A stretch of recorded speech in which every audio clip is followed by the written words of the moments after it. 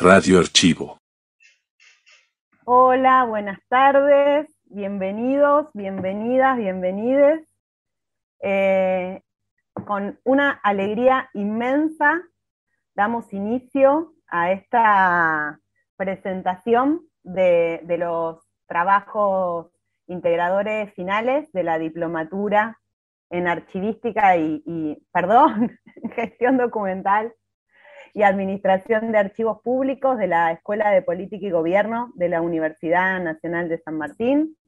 Esta diplo que empezó a dictarse el año pasado, el año 2021, y que ya lleva tres cohortes, una primera que se desarrolló durante los dos cuatrimestres del, 2021, una segunda que inició el segundo cuatrimestre del 2021 y finalizó el primer cuatrimestre de este año 2022, y la tercera que se está eh, cursando actualmente. Eh, esta diplomada tiene una característica particular, que es que hace un gran esfuerzo por integrar la teoría y, la práctica, y que piensa eh, el desarrollo de los archivos en función del cumplimiento de, su triple función social, piensa en la importancia que tienen los archivos para la historia, la memoria y el ejercicio de derechos, y por eso propende de alguna manera la construcción de políticas públicas en la materia. Justamente por ello, la diplomatura tiene ocho módulos eh, de cursada, dentro de los cuales eh, hay un trabajo final por módulo y luego un trabajo final integrador. Todas estas actividades articulan la teoría y la práctica y buscan generar procesos de desarrollo en las instituciones y en los lugares donde los estudiantes se, desempeñen. Con mucha alegría, entonces hoy lo que vamos a hacer es empezar a presentar algunos de eh, esos trabajos finales de la primera y la segunda corte. Eh, no entraron todos porque somos un montón. Eh, vamos a dividir este evento en dos jornadas. Una la realizaremos hoy, lunes, y la otra el día jueves. quiero agradecer especialmente y darle la palabra a Ximena Simpson, que es la secretaria de Extensión de la Escuela de Política y Gobierno, de, la UNSAM y, que es quien, quien le abrió la puerta, digamos, quien, quien, quien abrió el espacio para que esta diplomatura se desarrolle y que siempre está, que siempre está apoyándonos y, impulsándonos a, crecer cada vez más. Sí, me te paso la, palabra. Gracias, Marian. Bueno, buenas tardes a todas y a todos. Eh, bueno, en primer lugar, quería felicitarles eh, por la cursada, por los trabajos, que yo creo que todos, todavía no los asistí, pero de ver los títulos creo que ya son, ya constituyen un bien público. Felicitar mucho al equipo docente, a los tutores, a Andrés y con muchísimo entusiasmo a Mariana, a la coordinadora, Mariana Nazar, por todo el esfuerzo que haces, por todo el entusiasmo que tienes y por toda la buena onda de llevar este proyecto tan importante adelante, para la escuela es un gran, gran orgullo que ustedes estén con nosotros. Así que es, eh, forma parte justamente, ahora un poco voy a, voy, a, voy a, decir algunas palabras que mandó Ricardo, nuestro decano, pero ustedes forman parte de la esencia de nuestros objetivos como escuela dentro de la Universidad Nacional.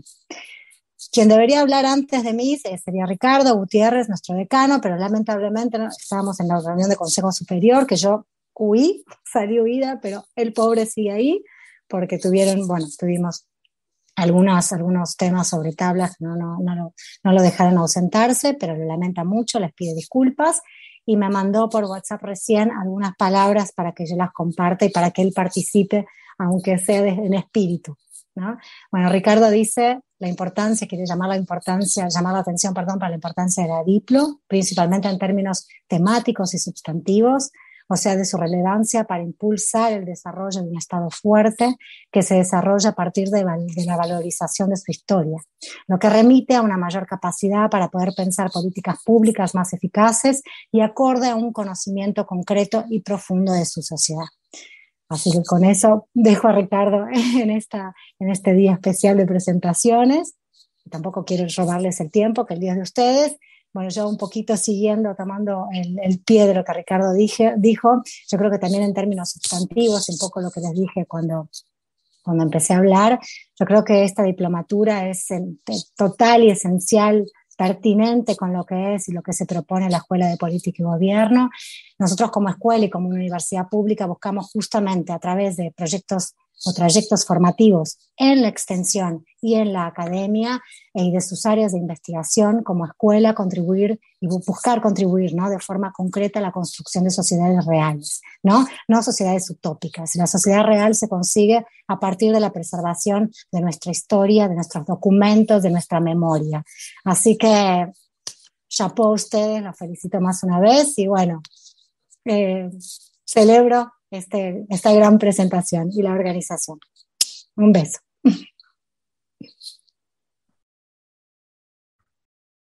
Muchas gracias, Dime. Bueno, eh, este, así como la diplomatura tiene estas características, ¿no? De que busca integrar fuertemente la teoría con la práctica y generar prácticas de desarrollo concretas, de la misma manera, el plantel docente está constituido por profesionales que además de tener este, estudios, estudios de grado en, la materia, en el campo de la archivística y de las ciencias sociales en, general, la mayoría tenemos una doble, una doble formación. Eh, y quiero, quiero, nada, tienen estas características y trabajan, o sea, además están formados, trabajan en, en, el ámbito público y se desarrollan en el ámbito público, sobre todo los docentes de archivística en los archivos, en los archivos públicos. Quiero agradecer especialmente el gran esfuerzo que vienen haciendo desde, desde el año pasado en acompañar esta propuesta formativa, que es una propuesta formativa muy intensa, porque esto de articular la teoría y la práctica se dice fácil, pero en concreto llevarlo a eh, el ámbito educativo es un desafío muy, muy grande, que nos insume, nos insume muchísimo tiempo eh, y muchísimo acompañamiento. Entonces, quiero agradecer, hay muchos de los docentes que están hoy, hoy acá acompañándonos. Quiero también agradecerles públicamente el, entusiasmo y el trabajo que realizan y sobre todo al equipo de tutores, que es como lo más del universo. En, primer lugar, a, a, Patricia Granato, Patrick, este, que es nuestra, nuestra tutora pedagógica, que está siempre detrás de todo lo que tiene que ver con, con la organización del classroom, con la organización de las clases, con la bibliografía, con los recursos, los trabajos prácticos y sobre todo en hacer el seguimiento, eh, casi mordiéndole los talones a todo el estudiantado para que puedan cumplir con, los, con los, plazos, y a los tutores académicos, eh, el tutor académico de la primer cohorte fue Andrés Pac, quien va a moderar el encuentro, eh, la tutora académica de la segunda cohorte fue Ana Guerra, quien está acá con, con nosotros, y quien está actualmente desempeñando la función de tutora académica es Eugenia Alves.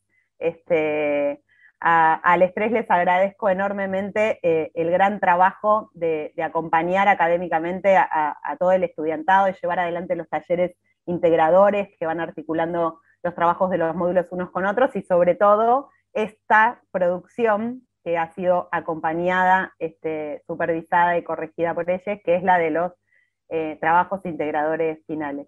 Así que nada, no tengo más que, palabras de, agradecimiento y, sobre todo al estudiantado que está firme ahí cursando dos veces por semana las clases, las clases sincrónicas y haciendo todos los fines de semana eh, los trabajos, los trabajos este, que corresponden. Así que bueno, nada, agradecidísima y, nada, y a escucharnos, a escucharnos entre todos.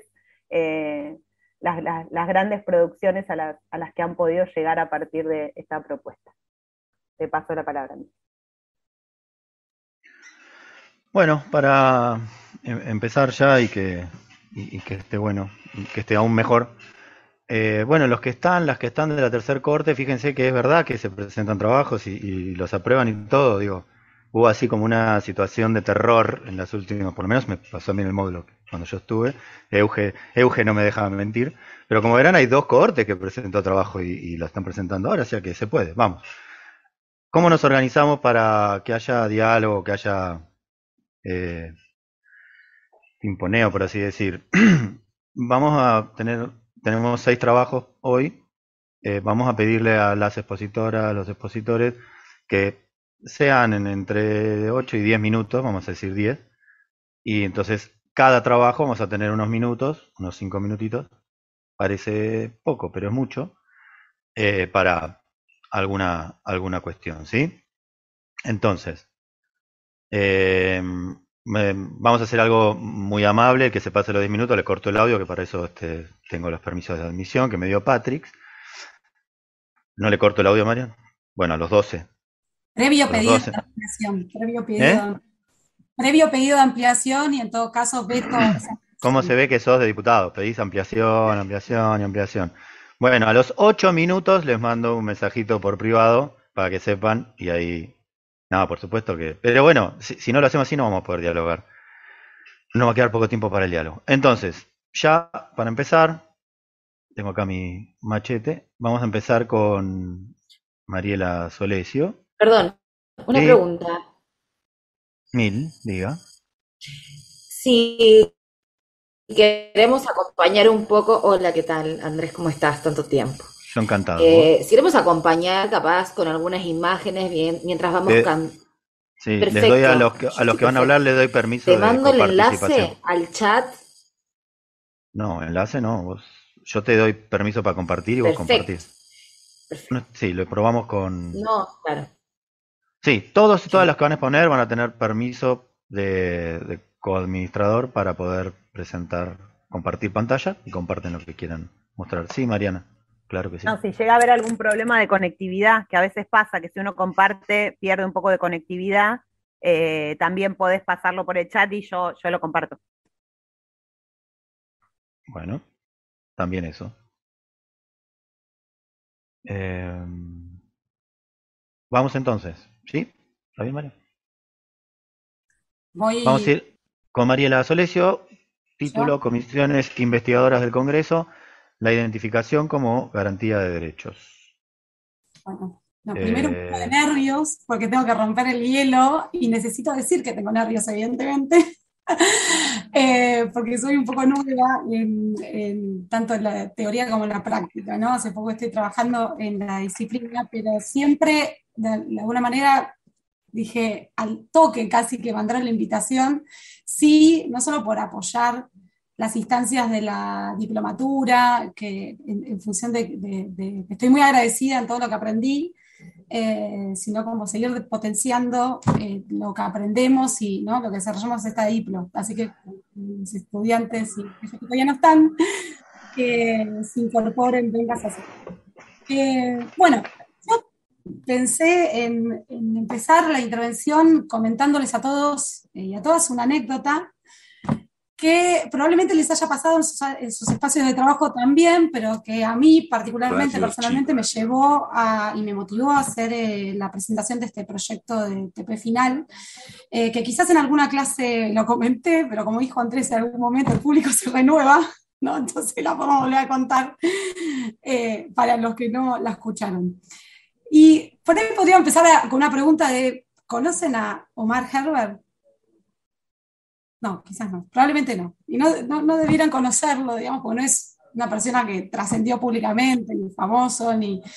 Pero es un ciudadano común, pero que en mí tuvo mucha importancia, que realmente me, me impactó personalmente y me motivó a hacer esto y creo que incluso al, al haber dado estos pasos en el TP final, en esto que decía Mariana también, ¿no? De la vinculación, de todo lo que aprendimos con eh, poder implementar prácticamente un trabajo en nuestras áreas eh, específicas, eh, esta persona creo que hizo la diferencia en, la elaboración de, este trabajo. A pocas semanas de tomar servicio, de acá cuento quién es, Omar Herbert, a pocas semanas de tomar servicio en el, en el archivo parlamentario del Congreso, recibió un llamado. Era Omar Herbert, que es hijo de Alejandro Herbert, un preso político de los años 60 que estuvo preso eh, en la cárcel de Ushuaia. Y Omar llamaba para solicitar una documentación en cuyo eh, interior había un testimonio de su papá, que eh, daba cuenta que había estado preso durante esos años con motivos de persecución política. ¿Y qué importancia tenía este expediente para Omar y su familia?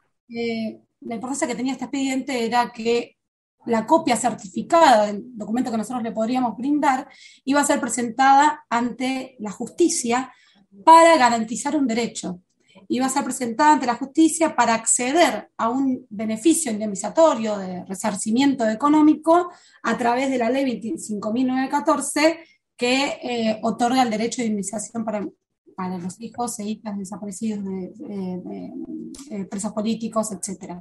Eh, ah, yo quería compartir, me olvidé de compartir pantalla, pero ahora ya me lo había dado otorgado y ahora no puse eh, los PDF, eh, pero que me tapa un poquito, esperen, disculpen.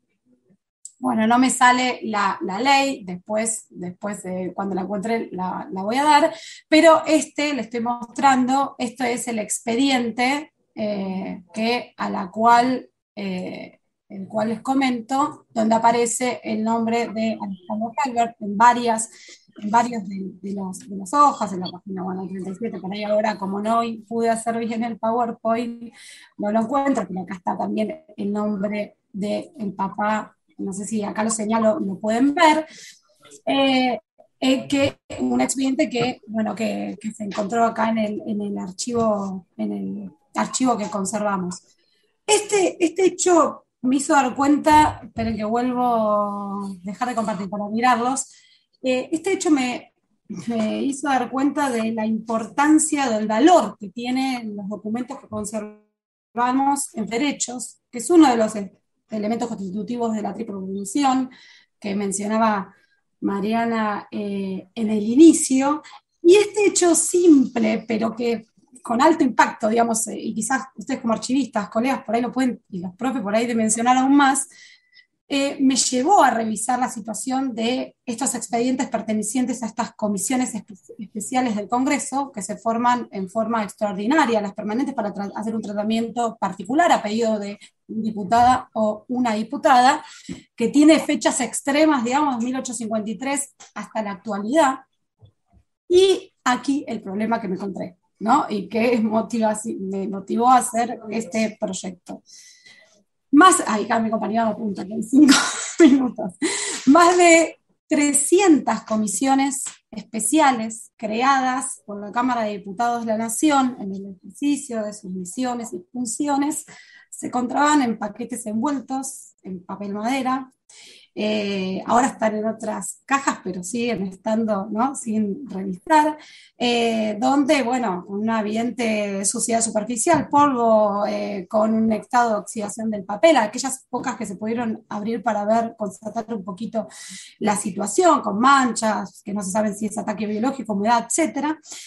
Pero además de su estado de conservación, eh, había una, esta documentación carecía de una nula identificación, clasificación, de un nulo tratamiento archivístico, mucho menos la descripción. Si bien existe un inventario que posibilitó, por ejemplo, que yo hoy pueda decir que son 300, alrededor de 300 comisiones ¿no? que, que, hay, eh, es muy precario lo que y que los títulos me dieran eh, también la pauta de la importancia que tiene esa investigación, es muy precario todavía pero con la experiencia de este llamado que, tenía y, lo, positivo de ese llamado de alguna manera en esta, en esta garantía de derechos que podía partir de un documento de archivo, me desesperaba la idea que se conociera esta documentación.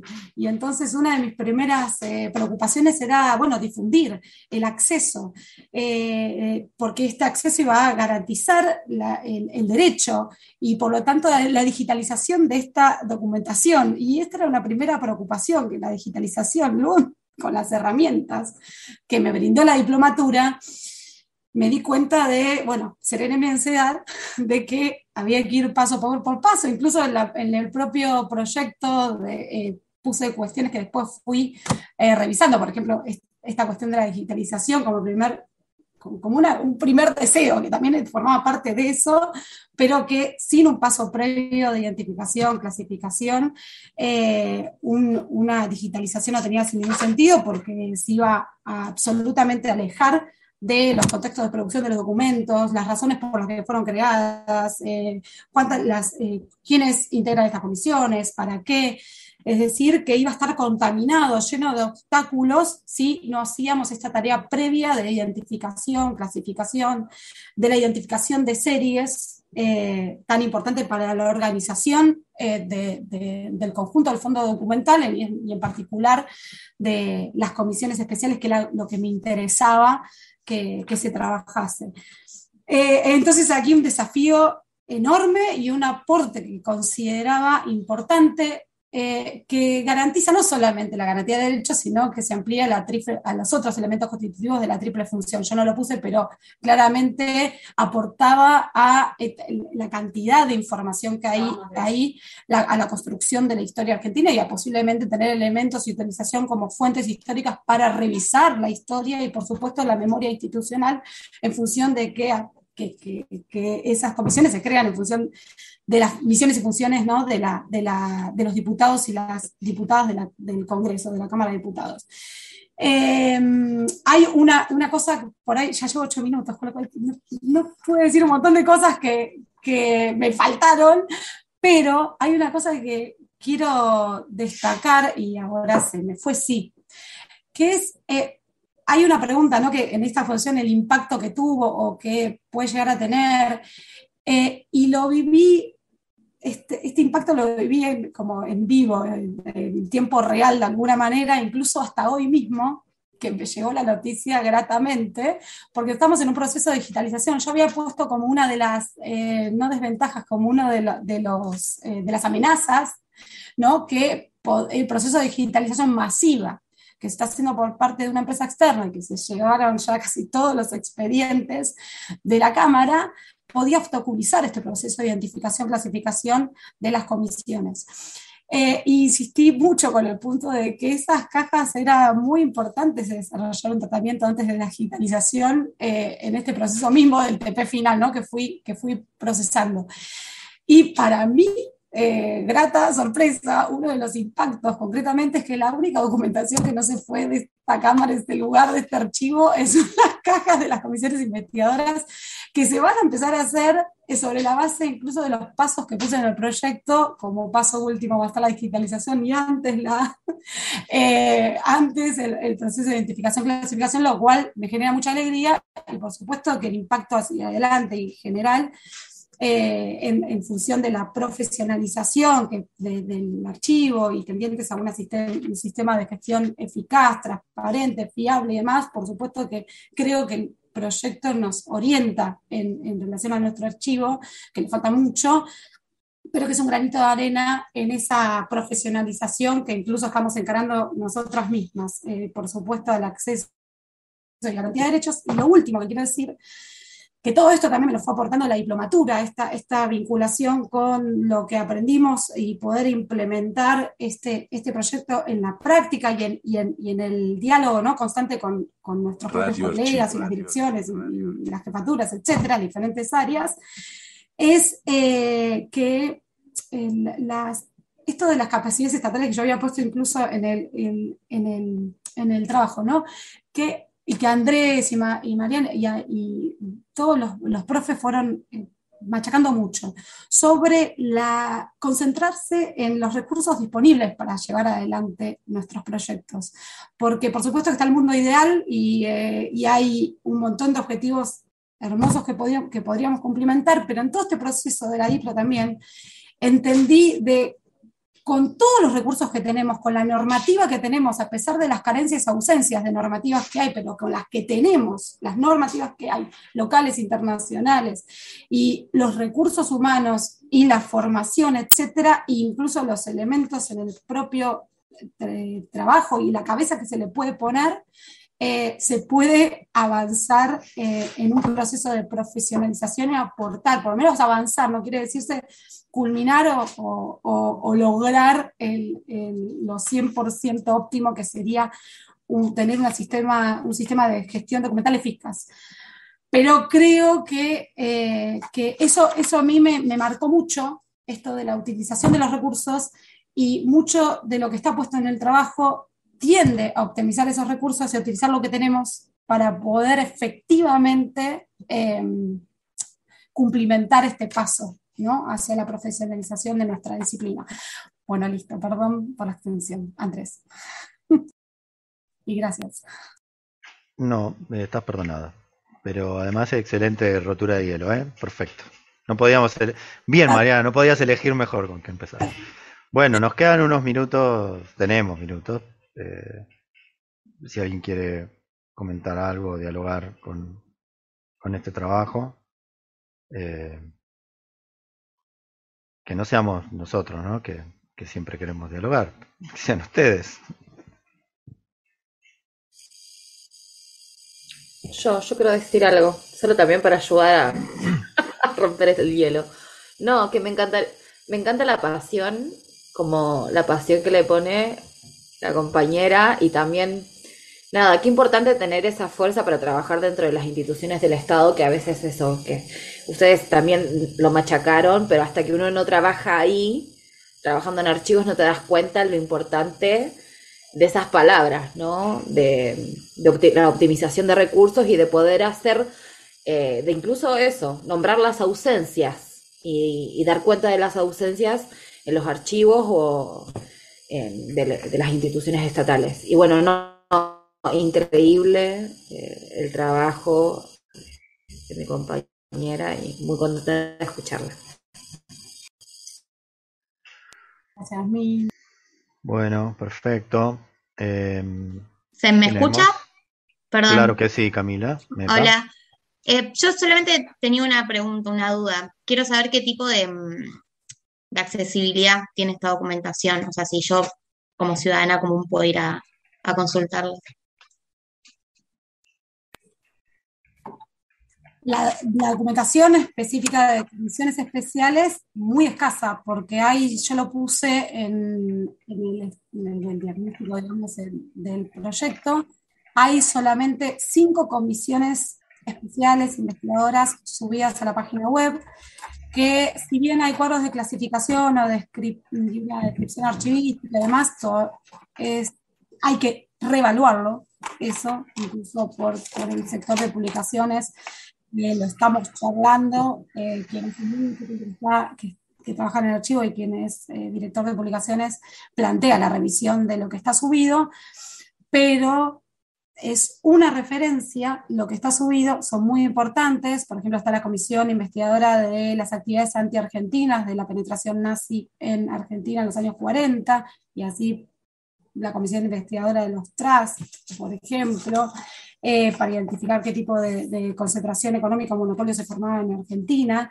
en los años 18 al 24, y así hay un montón, y, no te puedo nombrar, yo me había apuntado algunas que no están analizadas, como no sé, la Comisión Investigadora del Banco Hipotecario Nacional, que no, esa no está subida, una, comisión investigadora que analizó en el año 46 los altos precios de los artículos de necesidad y vivienda o denuncias relativas a la situación de trabajadores en varias industrias, temas de, fraude bancario, de fraude financiero, ferrocar, eh, historia del ferrocarril. O sea, los temas son diversos, muy diversos, son 300, y el nivel de accesibilidad son esas que están subidas nada más, que son 5, de 300, y el resto están, están envueltas, antes estaban envueltas en unas, con papel, papel madera, todo sucio y demás, en, en un espacio absolutamente inapropiado, con humedad, con roedores, etcétera, etcétera.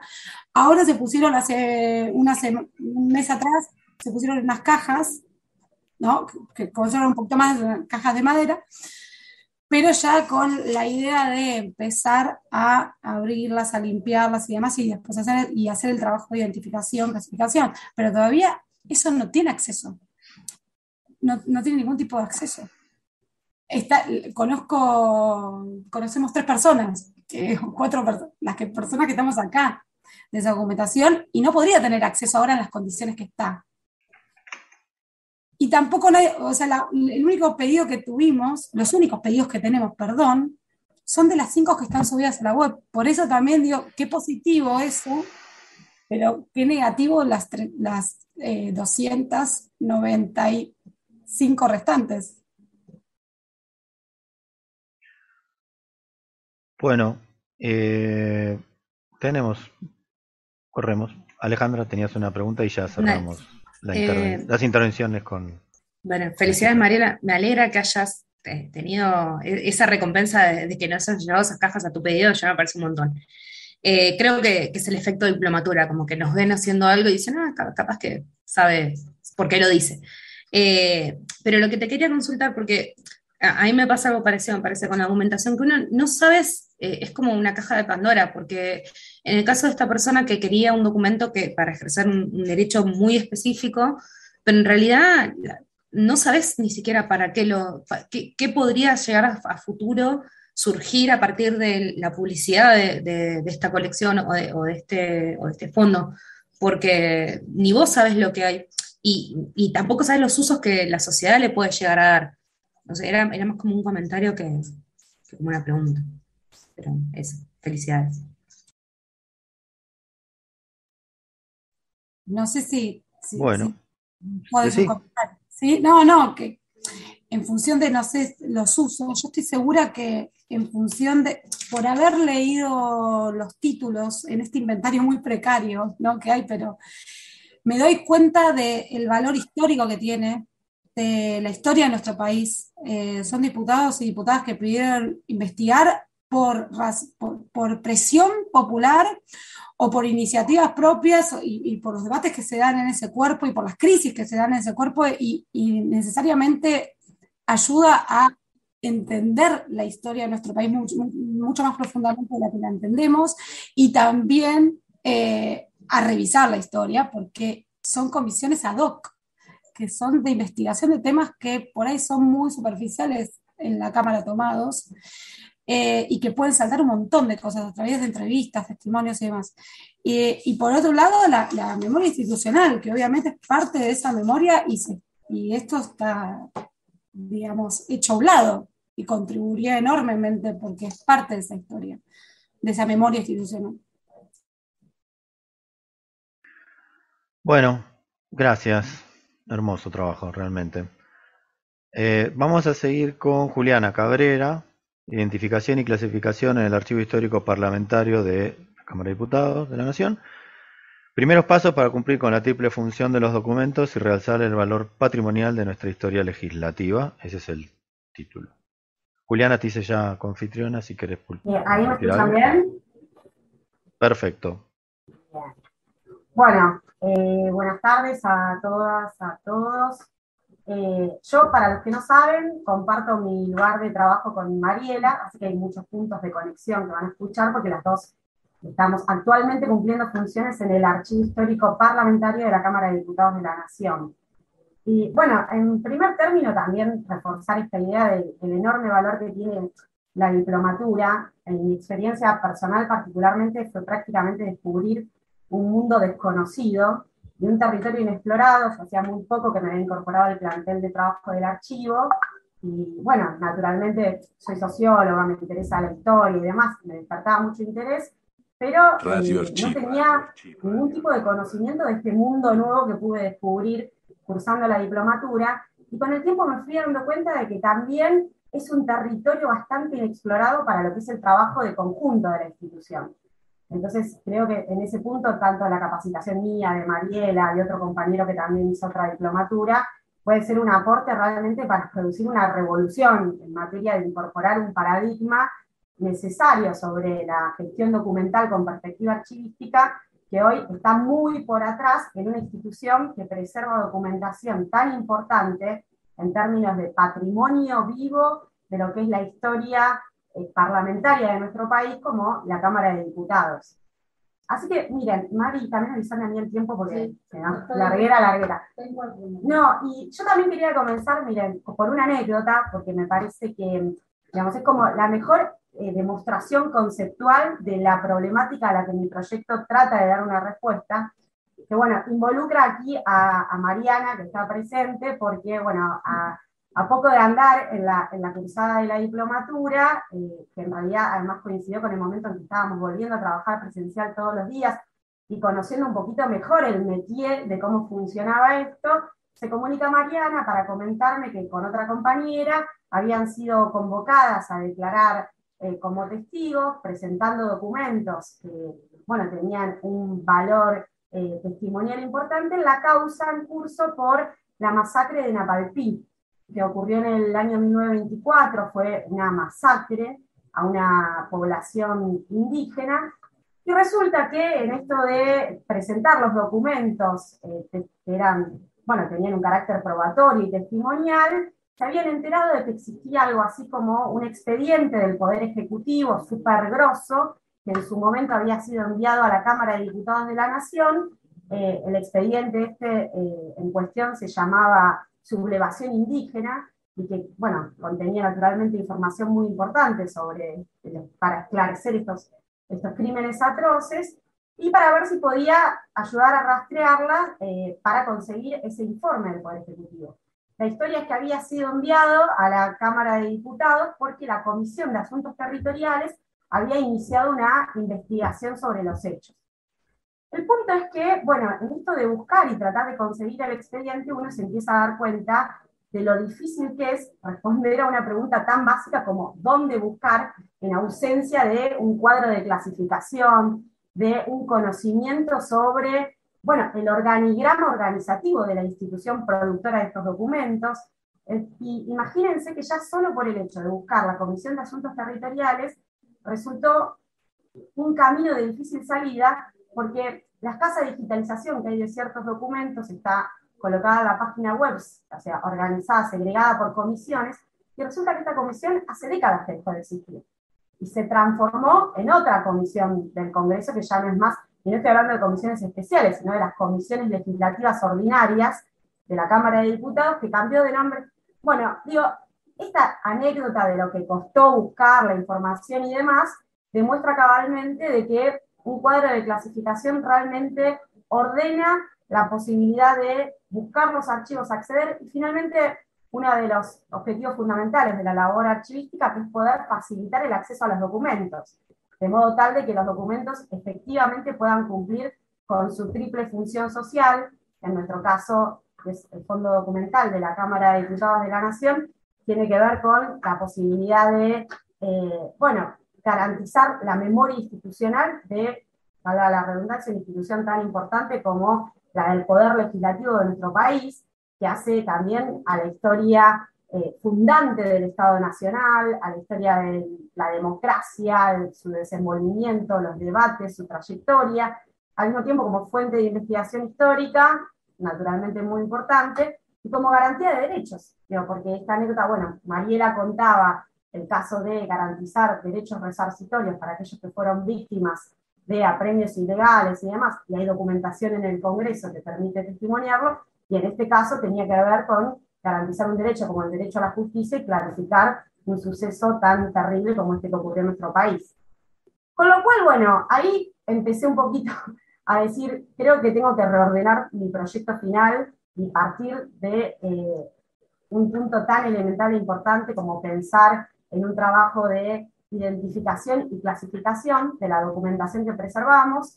y en este caso en particular, un montón de tiempo, bueno, eh, hice un recorte de una parte que es muy sustancial de nuestro fondo documental, que tiene que ver con toda la producción parlamentaria que existe desde el año 1862 hasta esta parte, digo, desde 1862 porque el Congreso empieza a funcionar en el año 1854, pero eh, toda esa primera etapa está preservada en lo que son los, los libros, las actas, decisiones históricas, que testimonia eh, absolutamente todo lo que ocurría sin eh, segregar lo que eran los proyectos presentados aparte.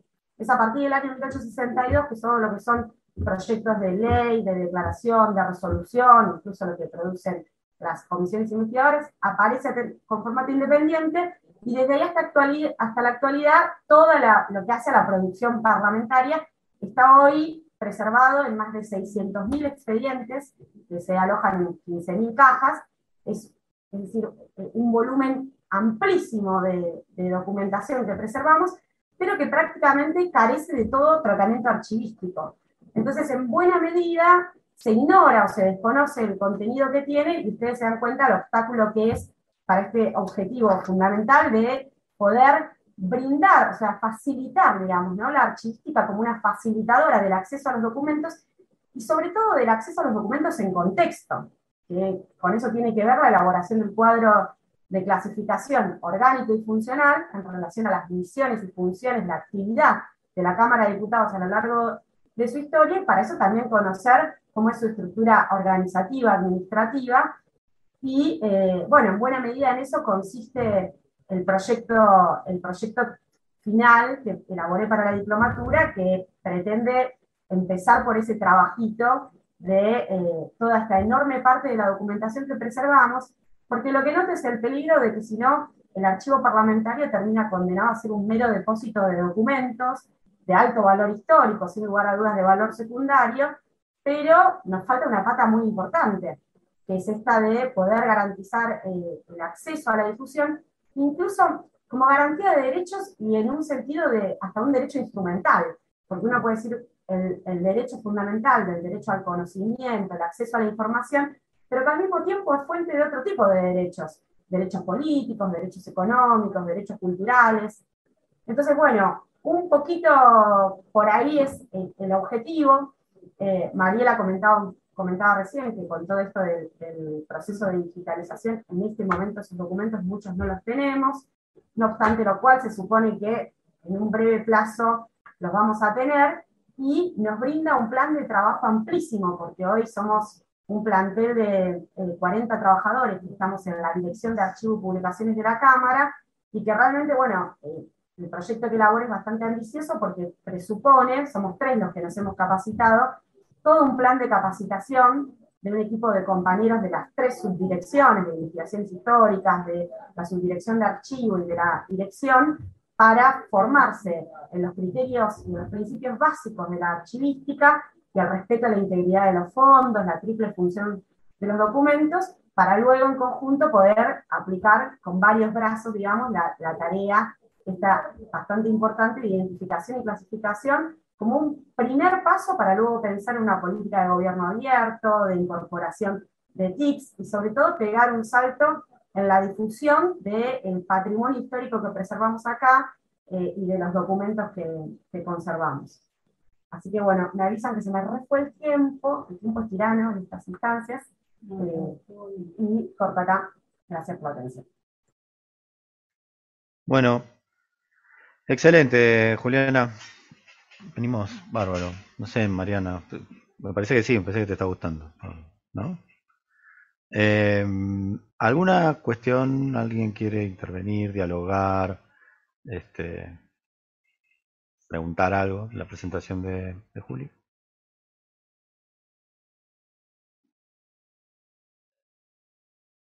No lo vayan a querer hacer cuando ya no nos queda tiempo. Es como vayan, ya sepan que en las próximas presentaciones, después de la presentación, viene un tiempo de preguntas. Pueden ir anotando las preguntas antes. No, bueno, entonces, el plantel docente, que es como que tiene la posibilidad, ¿quieren comentar algo, preguntar algo?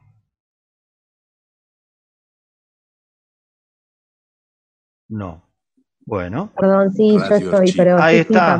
¿Me disculpan? Sí, Quiero, ¿se escucha bien? Perfecto. Bien, bien. Que, quería preguntar eh, en qué eh, condiciones de consulta está el archivo histórico hoy.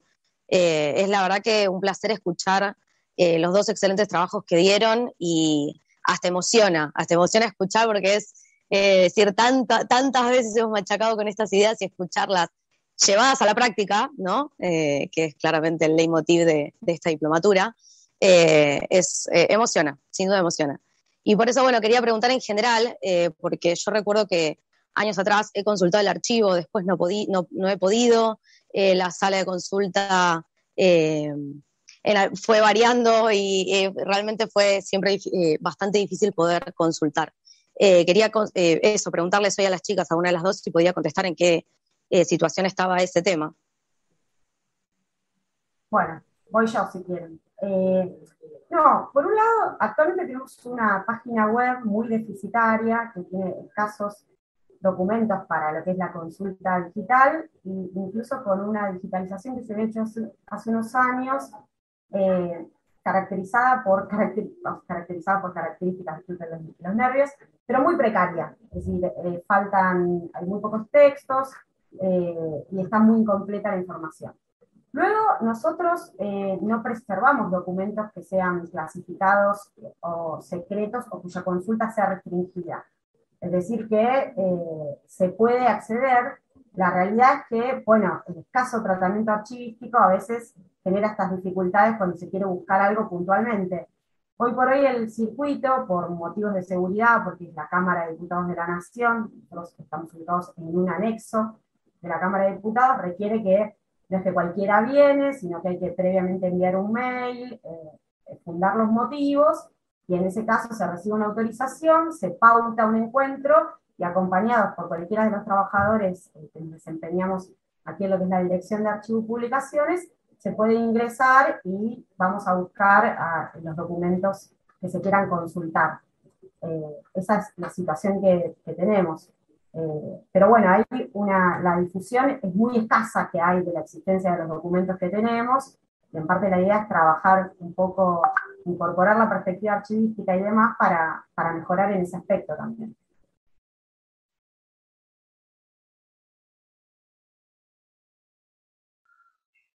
Bueno, genial, excelente. Em, vamos a pasar entonces al próximo trabajo de María Alejandra Sotelo, el archivo de boletines aeronáuticos en archivo de boletines, División Publicaciones Aeronáuticas de la Fuerza Aérea Argentina. Eh, ya sos confitriona, si querés eh, compartir algo, Alejandra.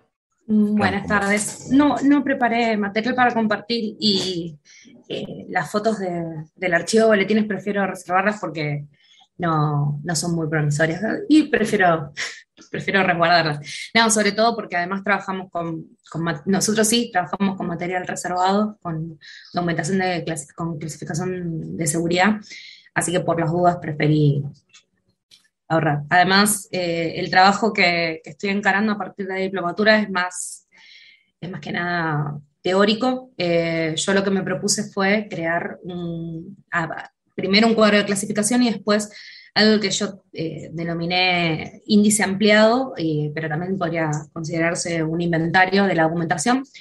yo la escuchaba a Mariela y, me sentía identificada porque todos, me, parece que, que partimos de la base de de ver un problema en, nuestro, en nuestra labor cotidiana, eh, que yo, lo que a mí me sucedía era que yo recibía consultas por parte de la ciudadanía y por parte de miembros de la institución sobre, sobre documentación y sobre información que esa documentación contenía y yo no podía dar una respuesta certera o yo no me quedaba tranquila, de, me quedaba siempre la duda de no está o no lo encontré o no lo estoy buscando bien o quizás está en otro lado y yo no lo sé. Como pareciera ser como, que el archivo de boletines es pareciera una biblioteca eh, muy accesible al público, pero la realidad es que es, como un libro de arena. Y me propuse empezar con, una tarea de, proponerle a mis jefes, primero hacerme cargo del archivo de boletines, que siempre fue tratado de una manera más administrativa. Yo creo que las respuestas que se le trataba de dar a los problemas iba más desde el lado administrativo que archivístico, nunca se se ha puesto un archivista al frente del archivo de boletines, sino siempre alguien que, bueno, no tenía muchas responsabilidades, entonces, bueno, le damos una función más en ese asunto. Y en el medio surgió la posibilidad de hacer la diplomatura. Eh, además, yo fui beneficiada con eh, media beca por parte del INAP, que es el Instituto Nacional de la Administración Pública, y la verdad que yo no podría haber hecho la diplomatura si eh, no estaba en condiciones de, afrontarla por mi cuenta, así que la, media beca me vino genial y, mis jefes me impulsaron y dijeron, bueno, vamos. Por eso también cuando la escuchaba a Mariela de, que su, desde, su, ámbito también se había hecho eco de, sus sugerencias y de, sus consideraciones, yo, siento que pasó un poco lo mismo también, eh, me parece que al haber hecho la diplomatura a través de la beca, eh, requirió un compromiso por parte de mis jefes también de hacerse cargo de que su personal se estaba capacitando. Entonces no puedes hacer oídos sordos o, no puedes eh, desentenderte de que tenés un patrimonio ahí que, se está degradando. Y por mi parte me dieron una persona para trabajar, yo le digo un esbirro, porque es como me, dijeron, bueno, toma, tenelo y que te ayude. Así que para mí eso es un súper logro, porque yo había, cuando había empezado el proyecto, cuando llegó la parte de, de tratar de hacer un diagrama de Gantt y tratar de proyectar a futuro me daba como resultado siete años de trabajo para lograr hacer un, eh, inventario eh, completo de toda la documentación que contenemos, son más de 5.000 boletines, eh, encuadernados de mil formas distintas, bueno, no mil, pero 10 formas distintas de encuadernación y de guardado, y con una sola persona más ya el tiempo se reduce a, la mitad y es un montón, sobre todo porque yo ahora tenemos una sola computadora porque bueno, magia tampoco, pero que él se pueda dedicar a la parte administrativa y me permite afrontar otros, otros asuntos que como en la parte de conservación,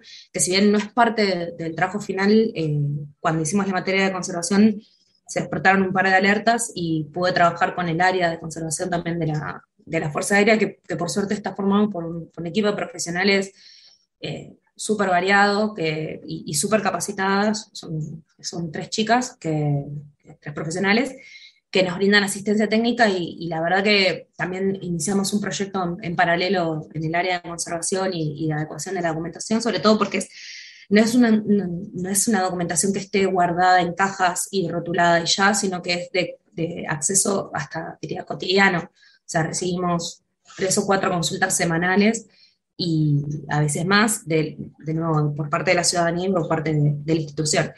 Y mi proyecto en sí eh, va, va para brindar una solución, eh, sobre todo en el área de dar una respuesta a quien está solicitando, porque quien está haciendo una pregunta o quien está solicitando una información, como le decía Mariela recién, uno no sabe qué hay detrás de esa pregunta, no sabe qué derecho quiere ejercer o qué dudas se quiere sacar o lo que sea, y es documentación pública y tiene todo el derecho de que yo se la pueda brindar y, que, y sobre todo quedarme tranquila de que si yo le digo esto no está acá, saber que no está ahí. E, esa es mi, mayor preocupación, porque incluso yo como, como estudiante de historia, eh, hice eh, un seminario, usé los, boletines como, como, fuente para una investigación propia sobre el ingreso de la mujer en la Fuerza Aérea y, lo viví en carne propia, entonces como que quiero otorgarle eso a, quien me esté preguntando. Eh, y de nuevo, creo que la respuesta que se quería dar era una respuesta más administrativa, burocrática. surgió lo, lo, primero, que incluso yo formé parte del primer proyecto, que era, bueno, digitalicemos todo, con, un, un, pasémosle un OSR y, listo.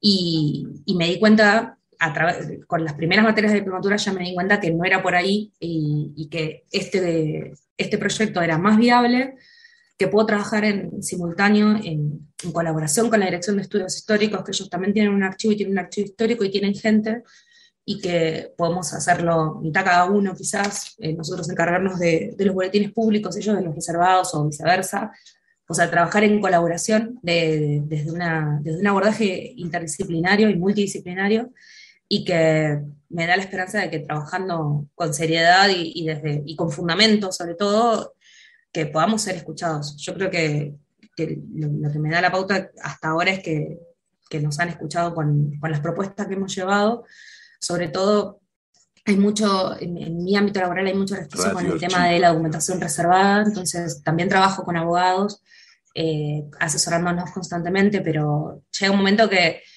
eh, se impone la, urgencia de, un pedido, la otra vez nos llegó una, un pedido judicial, un oficio judicial y al, principio como que no, bueno, no, no hay que no, no le podemos dar la documentación digitalizada y como, bueno, nos tenemos que, tenemos que asumir esta responsabilidad y, asumirlo desde la manera más profesional posible. Creo que la, diplomatura nos está ayudando a que por lo menos nos, pidan eh, asesoría, al menos en ese ámbito.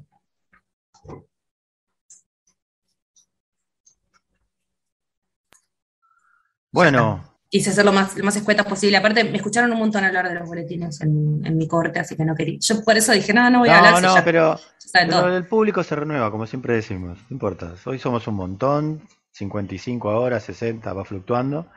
Este, y la mayoría no te ha escuchado. Excelente trabajo, Ale. Buenísimo, buenísimo la cursada y buenísima la, la exposición. ¿Alguien quiere intervenir, dialogar con, este trabajo, con Ale? ¿Quieren que volvamos al bolillero? Ah, no, perfecto. Eh, Gra. Hola, bueno, encantada de estar acá. Gracias eh, por esta convocatoria. Eh, María Alejandra, te quería preguntar cómo fue la presentación, cómo fue como, más o menos cómo fue el esquema del proyecto, cómo armaste esto, eh, un poco eso si nos querías contar. yo lo, primero que hice fue, empecé como por la negativa, empecé planteando la, la, primero la, necesidad de acceder a la información y la imposibilidad de la digitalización eh, por, la tarea monumental y, poco rentable que sería digitalizar toda la documentación, porque, primero porque era la primera opción que se, se venía barajando en, mi institución. Eh, después lo que, lo que planteé era, a través de la experiencia, me basé mucho también en hacer como una especie de estadística eh, y, remachar en esto de, bueno, se solicita esta información, no, no es algo que se me ocurre a mí que, podría pasar, sino que la experiencia me demuestra que se solicita la documentación dentro del boletín y que no, las búsquedas no vienen con el número de boletín, por ejemplo, en un caso particular, porque yo archivísticamente, el cuadro de clasificación llega hasta el número de boletín. Yo no, no tendría por qué incluir adentro del cuadro de clasificación todos los, por ejemplo, dentro de un boletín hay 10 resoluciones, ¿no? y yo en el cuadro de clasificación no las tengo que poner, por esas resoluciones incluso son eh, hechas por otros organismos, no, no por la Fuerza Aérea. Eh, entonces, como que mi justificación iba por ahí, como bueno, yo necesito saber, además de tener un cuadro de clasificación, que, es primordial en la tarea archivística, yo necesito acceder al contenido de la documentación y a la descripción de la documentación interna, que, por eso le puse el nombre inventario y, o, índice ampliado, le digo yo en mi intimidad, pero, y no cuadro de clasificación. Eh, no sé si responde tú. Y si, si querés te lo paso, no es que no, es un gran ejemplo, pero capaz si te sirve te lo paso. Sí, me, llamaba la atención eso lo de, está buenísimo lo del inventario y el índice ampliado.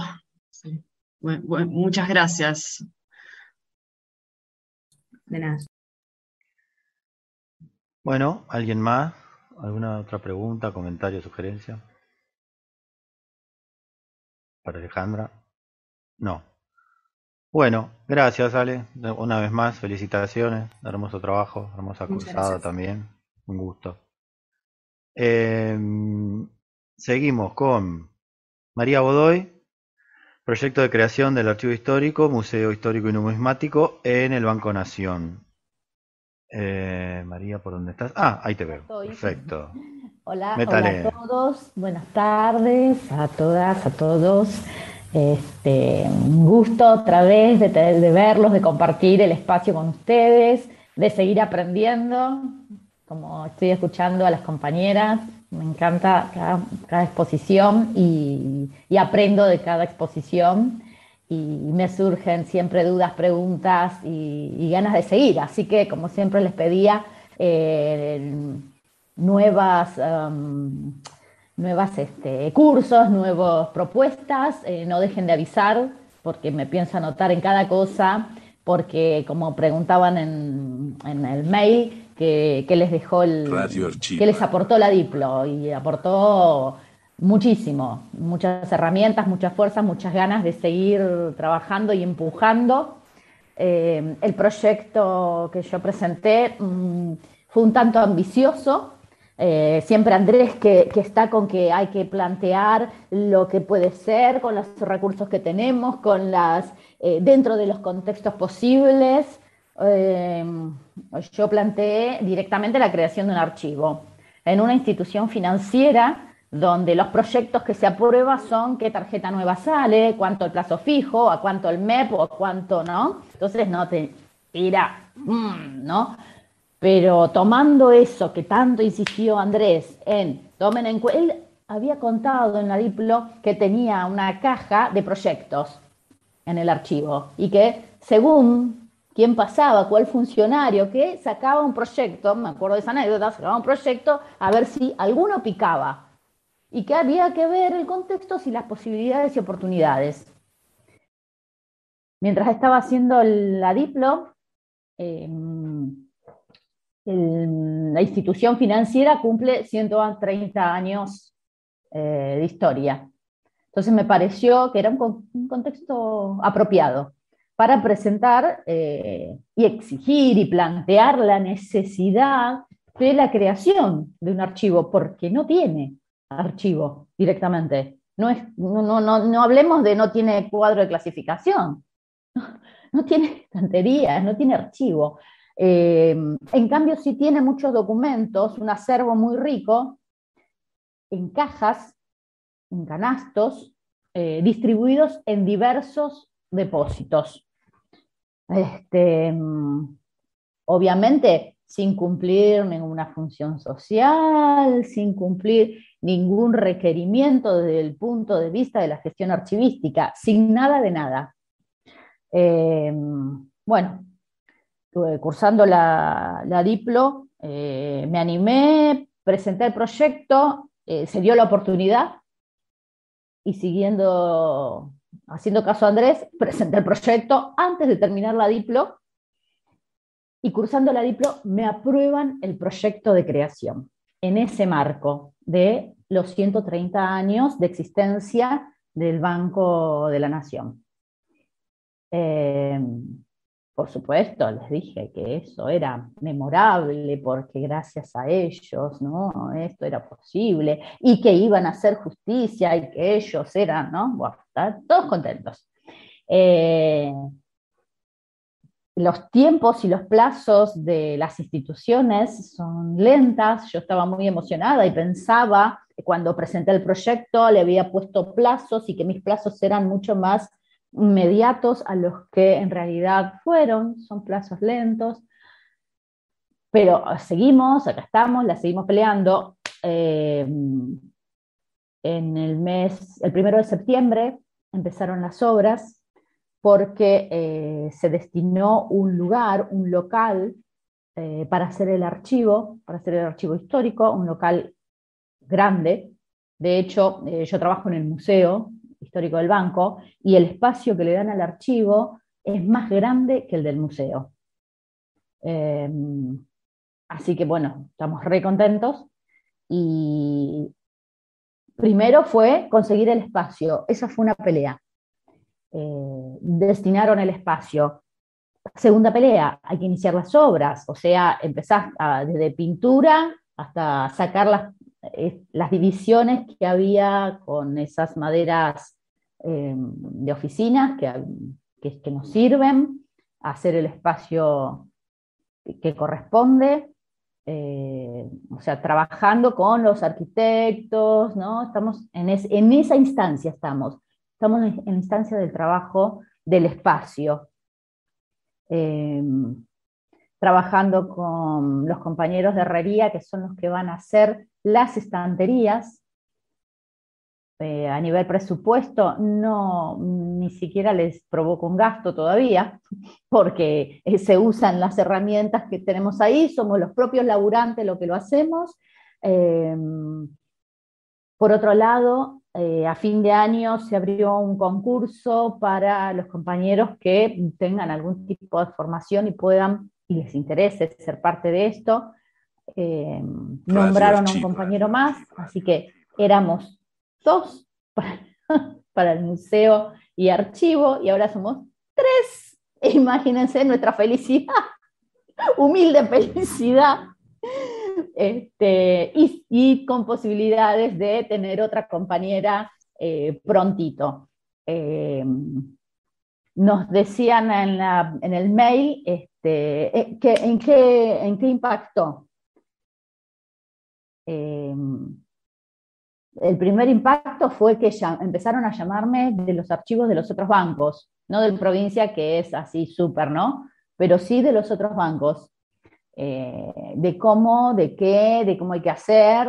Eh, me parece sumamente interesante. Se organizaron eh, eventos inclusive de archivos, de bancos especialmente.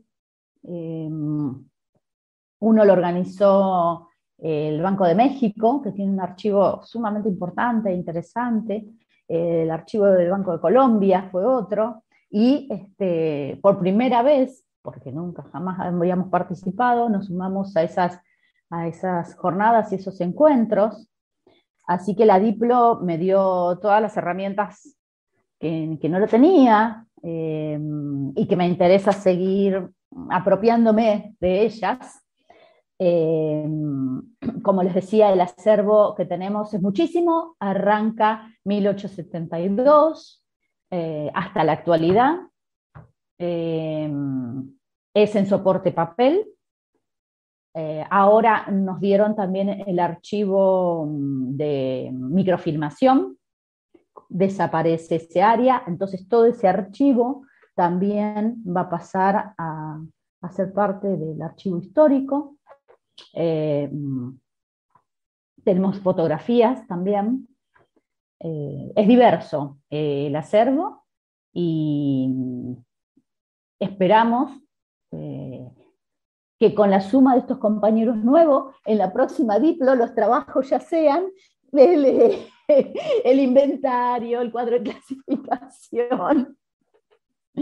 Bueno, mil gracias. Bueno, María, muy emocionante. Eh, antes de que colabore, que los que quieran este dialogar, tenemos un minutito. María no lo dice, pero eh, ya le derivamos usuarios, usuarias concretamente, del Archivo General de la Nación que estaban buscando información que puede ser que estuviera ahí, así que ahí ya no solo crearon el área, sino que le están dando acciones al área. Este, felicitaciones María por duplicar la planta de personal, eso no ha pasado en ningún archivo que yo conozca por lo menos. Este, Está bien, eran dos, pero no importa, van a ser cuatro, es el doble, amiga, qué sé yo, colabora. Este, así que bueno, nada, quería sumar eso porque María muy humildemente no, no, no lo ha mencionado. Claudia, tengo a Claudia, Maga y nadie más por ahora. Sí, bueno, María, me sumo a las felicitaciones de las y los compañeros. Este, yo tengo una preguntita que tiene que ver con el alcance del archivo, pensando en que Banco Naciones es una institución de alcance nacional que tiene sucursales en todo el país. Han, iniciado conversaciones, por ahí lo dijiste y yo estaba distraída, conversaciones o intercambios con compañeros de, de otras sucursales como para ver si articulan esfuerzos en este sentido. Digo, porque me imagino lo que deben ser los archivos de Banco Nación en, en todo el país dan ganas de llorar, por lo que me dicen algunas colegas que trabajan en historia económica. Gracias. Tienen razón, dan ganas de llorar, tienen razón. Este, mm, no, en las sucursales envían su documentación a Central. Eh, y es allí el maltratamiento que se hace sobre los documentos, o sea, tirarlos a los canastos, eh, esos con los cuales nosotros queremos trabajar. Así que efectivamente el banco es federal, abarca toda la República y por eso es tan importante el hacerlo, porque em, justamente desde 1872 hasta la fecha podemos hacer estudios sobre la historia económica del país, como decía Andrés, la compañera que me escribió es de Salta y está haciendo una investigación sobre los préstamos agrícolas en la provincia de Salta. Eh, obviamente Banco Nación Salta no tiene nada, eh, fines del siglo XIX, principios del siglo XX, eh, lo tenemos aquí, así que estamos, bueno, estamos trabajando en, esa búsqueda. por ejemplo, para que tengan una idea de, otra cosa que impactó favorablemente y que y que hizo prestar atención a la dirección es que eh, por una cuestión edilicia se tuvo que cerrar una sucursal de acá de Capital Federal, sucursal constituyente, para reabrir, para la reapertura de la sucursal, el Banco Central le exigía al Banco Nación los legajos originales de eh, la primera vez que se abre la sucursal. Eh, la serie de legajos, que era la, mm, la, serie, una de las series con las que trabajé en la Diplo, porque es la serie que está mejorcito, digamos, ¿no? Eh, pero tuve que recurrir a eso y bueno, me cayó justo, ¿no? Como, ah, querían, quieren abrir la sucursal, ah, necesitan un documento de archivo, ah, mira qué interesante. Bueno, este, eso fue importante. Y otra cosa que me olvidé es que el vicepresidente nombró, eh, a raíz de todo esto, un, un archivista recibido en la Universidad Nacional de Córdoba para que este, trabaje con nosotros. Eh, mm, si bien no es de la planta del banco, eh, es una persona que va a trabajar a disposición del archivo eh, mientras esté este vicepresidente. ¿no?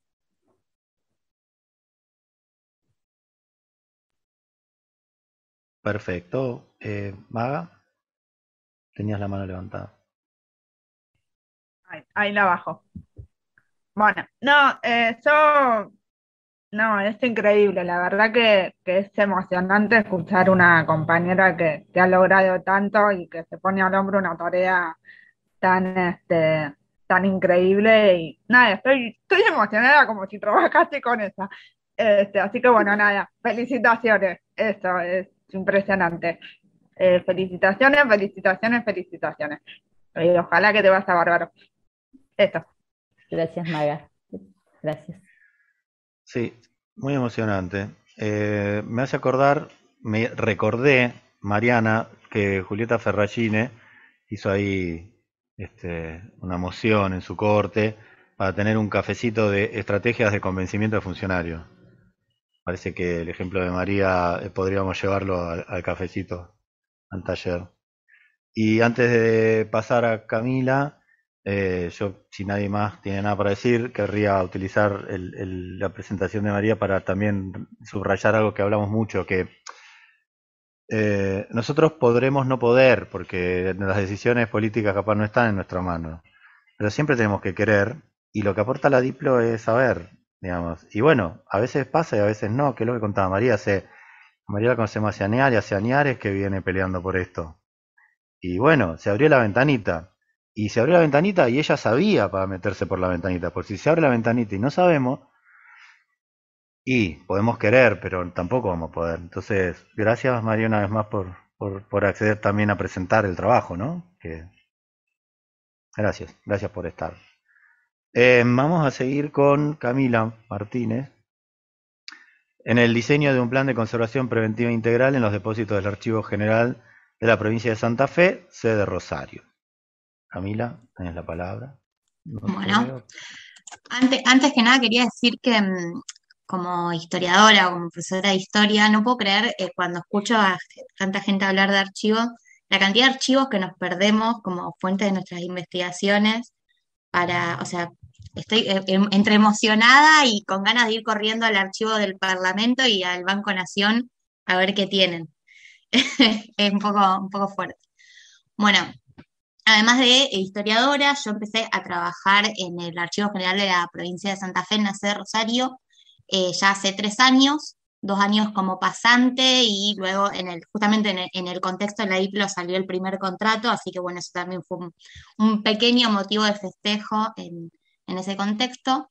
El año pasado tuve la oportunidad de participar en la primer corte de la diplomatura que me permitió de cierto modo ponerle marco teórico a toda esa praxis diaria que yo venía que venía realizando desde mi justamente experticia como historiadora y desde todo el saber que, la jefa del archivo me, brindaba desde, desde la disciplina archivista. Y ese, si se quiere, digamos, esta cuestión de incorporar toda la teoría a la práctica fue el, el mayor aporte que hizo la diplomatura para, para mi formación o mi primer acercamiento a la disciplina archivística. Así que bueno, tuvo muy buena eh, primera aproximación, así que menos de eso eh, uno no, espera, ¿no? Em, para aprobar el curso lo que se nos pidió es lo que fuimos presentando todos, la presentación de un proyecto de mejora que sea viable para aplicar en, en nuestros espacios de trabajo.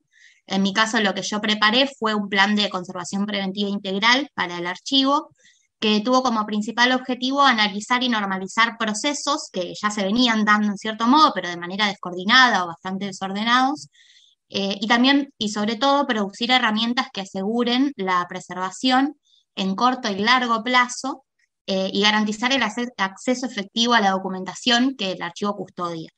El archivo del que estamos hablando tiene aproximadamente unos 1.400 metros lineales de documentación, o sea que no es poca cosa y además también ahora estamos en vías de incorporar casi la misma cantidad de un fondo documental nuevo, o sea que se nos viene un desafío por delante eh, impresionante.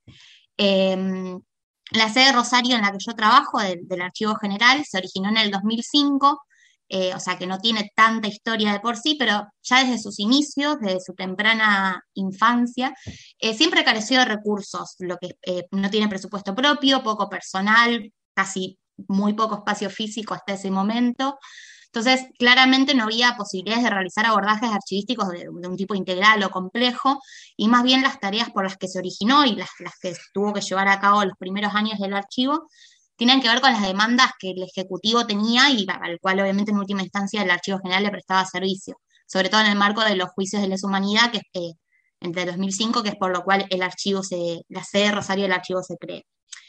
Eh, en el 2018, o sea, ya es mucho más cercano en el tiempo, el archivo consiguió un financiamiento de cooperación internacional con el programa Iberarchivos ADAI en el marco de un proyecto que se llamó Traslado, Organización y Descripción Documental del archivo de la División de Investigaciones de la Policía de Rosario, que tiene fecha stop entre 1905 y 1940.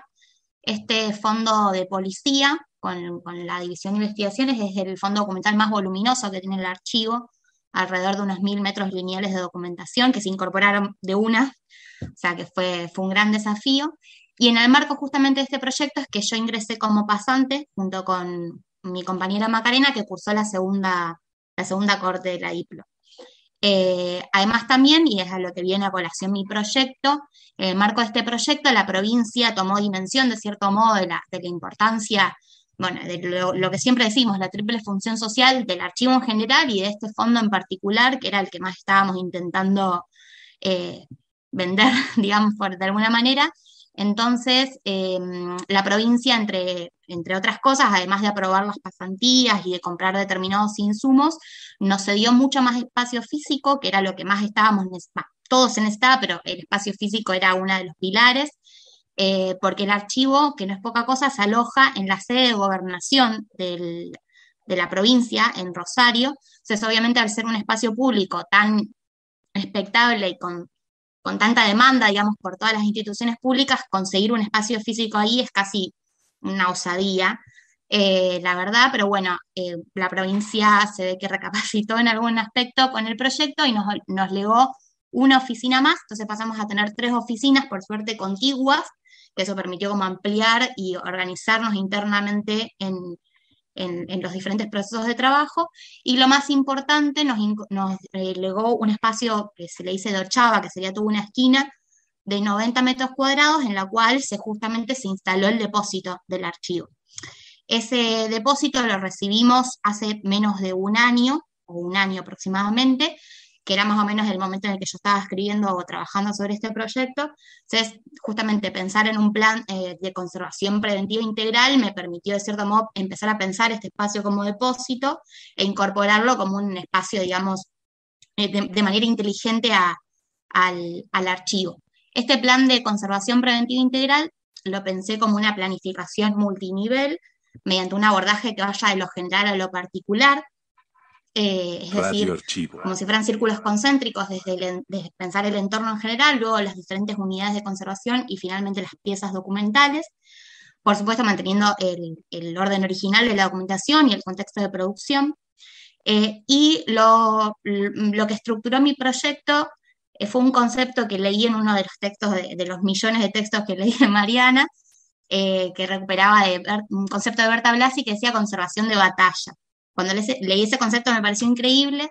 Lo que, ella, lo que Berta Blasi plantea con conservación de batalla tiene que ver con optimizar las condiciones de preservación de la documentación, estableciendo prioridades en la intervención, o sea, siendo racionales y con cierto sentido común, podríamos decir, y empleando los recursos disponibles de manera inteligente y eficaz. Esto que venimos diciendo desde el principio de, este, de, este, de esta charla, de esta exposición.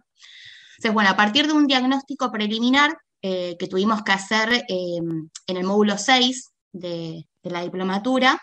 Yo me monté a partir de ese diagnóstico y a partir de la lectura de las RTA, que las conocí en esta diplomatura y fueron muy, muy estructurantes para, mi trabajo y para este proyecto, eh, fue que más o menos creé este proyecto que tiene cuatro etapas. La primera etapa vendría a ser establecer un diagnóstico de situación e identificación de procesos. Yo le, adjudiqué más o menos dos meses de ejecución a esta, a esta etapa y principalmente lo que los resultados de esta etapa vendrían a ser, en un principio, la instalación de data loggers y de significadores, que eran los equipos técnicos que nos habíamos podido comprar con el subsidio que mencioné antes, en el área de, depósito, obviamente para un registro de la temperatura y la humedad, bueno, todo lo que más o menos ya sabemos, no me voy a extender en eso, eh, y establecer, digamos, determinados procesos vinculados al abordaje de eso, o sea, quiénes los iban a tratar, cómo, con cuánta periodicidad, qué fichas se iban a utilizar. Ahí incorporamos una serie de fichas estandarizadas para que todos eh, incorporemos, digamos, las mismas métricas. A su vez, también en esta etapa establecimos un mapa de riesgos eh, en función, digamos, de, este informe de situación que ya se había generado y un calendario de inspecciones en el, de mantenimiento en el área del edificio que ocupa el archivo. No olvidemos esto que yo les decía, que el archivo está en la sede de gobernación, entonces incorporar procesos archivísticos tiene toda una serie de cualidades específicas que si fuera un edificio propio, digamos, del archivo, ¿no? La segunda etapa del proyecto tenía que ver, eh, bueno, ya obviamente en función de esos diagnósticos que, se hubieran establecido, llevar a cabo eh, diferentes eh, tareas de preservación en, este entorno, en el depósito, su acondicionamiento y gestionar eh, sobre todo, que era lo que, una de las cosas que más me interesaban a mí dejar como producto de este proyecto, eh, gestionar un plan de emergencias ante siniestros, que es algo que las profesoras del módulo 6 nos machacaron, eh, que era sumamente importante, y bueno, yo tomo un poco el guante de eso. como productos, digamos, de esta etapa, lo que lo que, lo que resultaría serían bueno, diferentes fichas estandarizadas vinculadas al registro, por ejemplo, de fumigaciones en el depósito, de la limpieza. La limpieza, por ejemplo, de los depósitos no depende del archivo, sino que es el servicio de limpieza de toda la sede.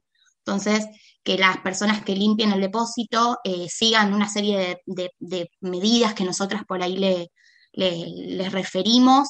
Eh, es así que, por ejemplo, ploteamos las paredes del depósito y con, con, carteles y con diferentes, digamos, eh, sí, medidas que nosotras queríamos que ellas, eh, que, las chicas que limpian el depósito tengan en cuenta. Por suerte nos dieron bolilla porque podría ser que, no les interese demasiado meterse en esa. Eh, bueno, y obviamente esto que digo, establecer un protocolo ante siniestros, un formulario para evaluación de daños en el caso de que un siniestro sucediera, y incorporar a la planificación anual del archivo una práctica de simulacros ante determinados siniestros. Eh, bueno, y diseñar un plan de evacuación, bueno, y otra, otra serie de medidas, no voy a extender tanto más en eso. La etapa 3 del proyecto, que vendría a ser de cierto modo sincrónica con esta etapa 2, en un, mundo en el que esto hubiera sido incorporado de manera perfecta, ¿no? Que claramente, spoiler alert, no sucedió de manera perfecta.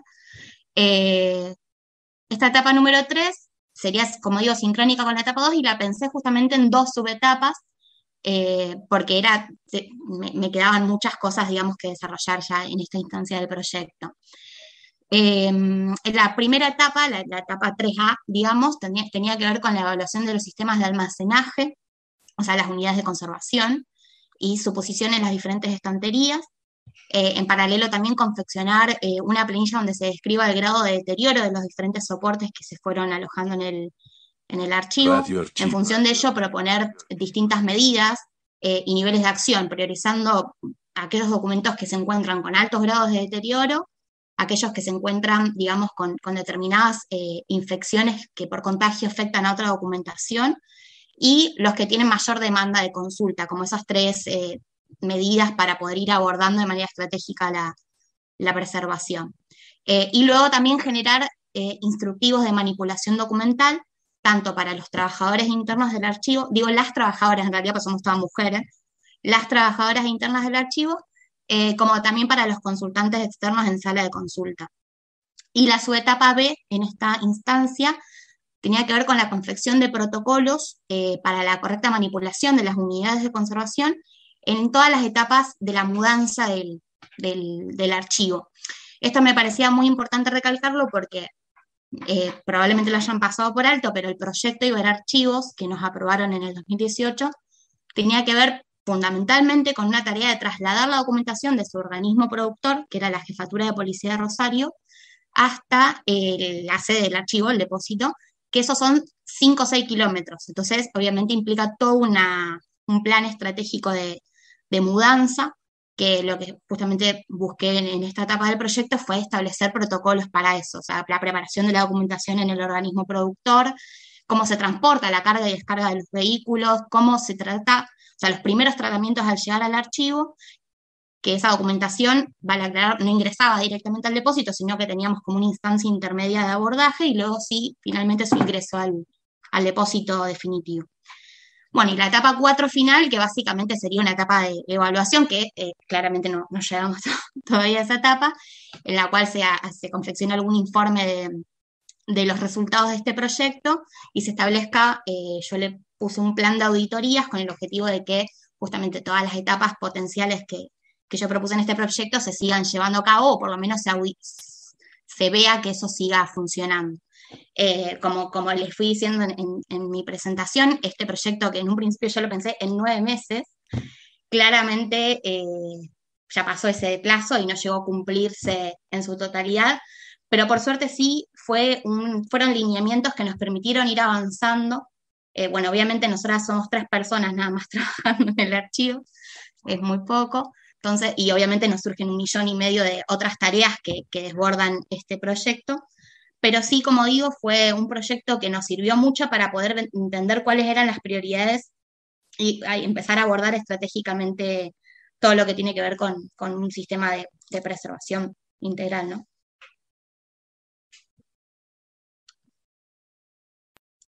Bueno, gracias Camila.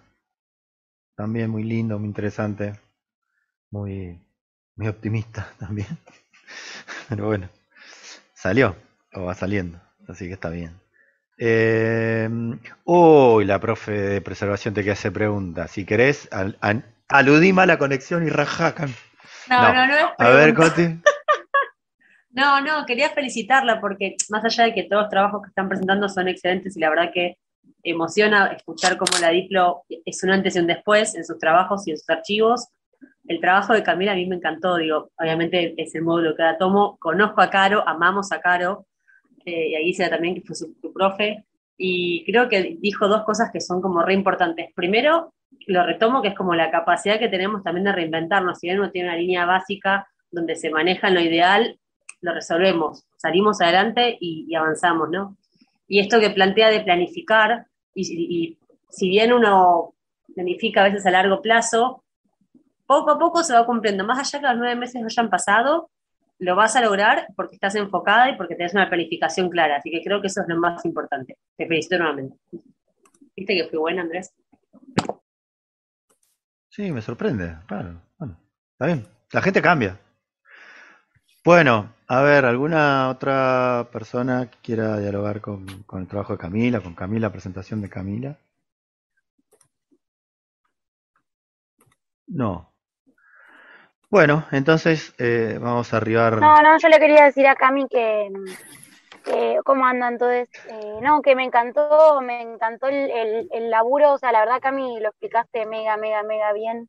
O sea, creo que eso también está buenísimo, como, no sé, esto, que lo pueda explicar de la manera que lo explicó. Y también me quedaba preguntando si en relación a que te enfocaste más en la conservación y eso, si vos buscaste, o sea, y antes de hacer el proyecto, más allá de que es cierto que contaban con, quizá entendí, no sé si entendí bien el recurso de ver archivos, si en todo lo que fue el traslado de la documentación, o sea, ya tenían idea, habían buscado referencias en otros archivos que trasladaron cosas, como, no sé, me, me quedó ahí como resonando eso, que quizá, no sé si lo vimos tanto, pero me pareció, no sé, importante eso, si lo podías desarrollar un poquito más.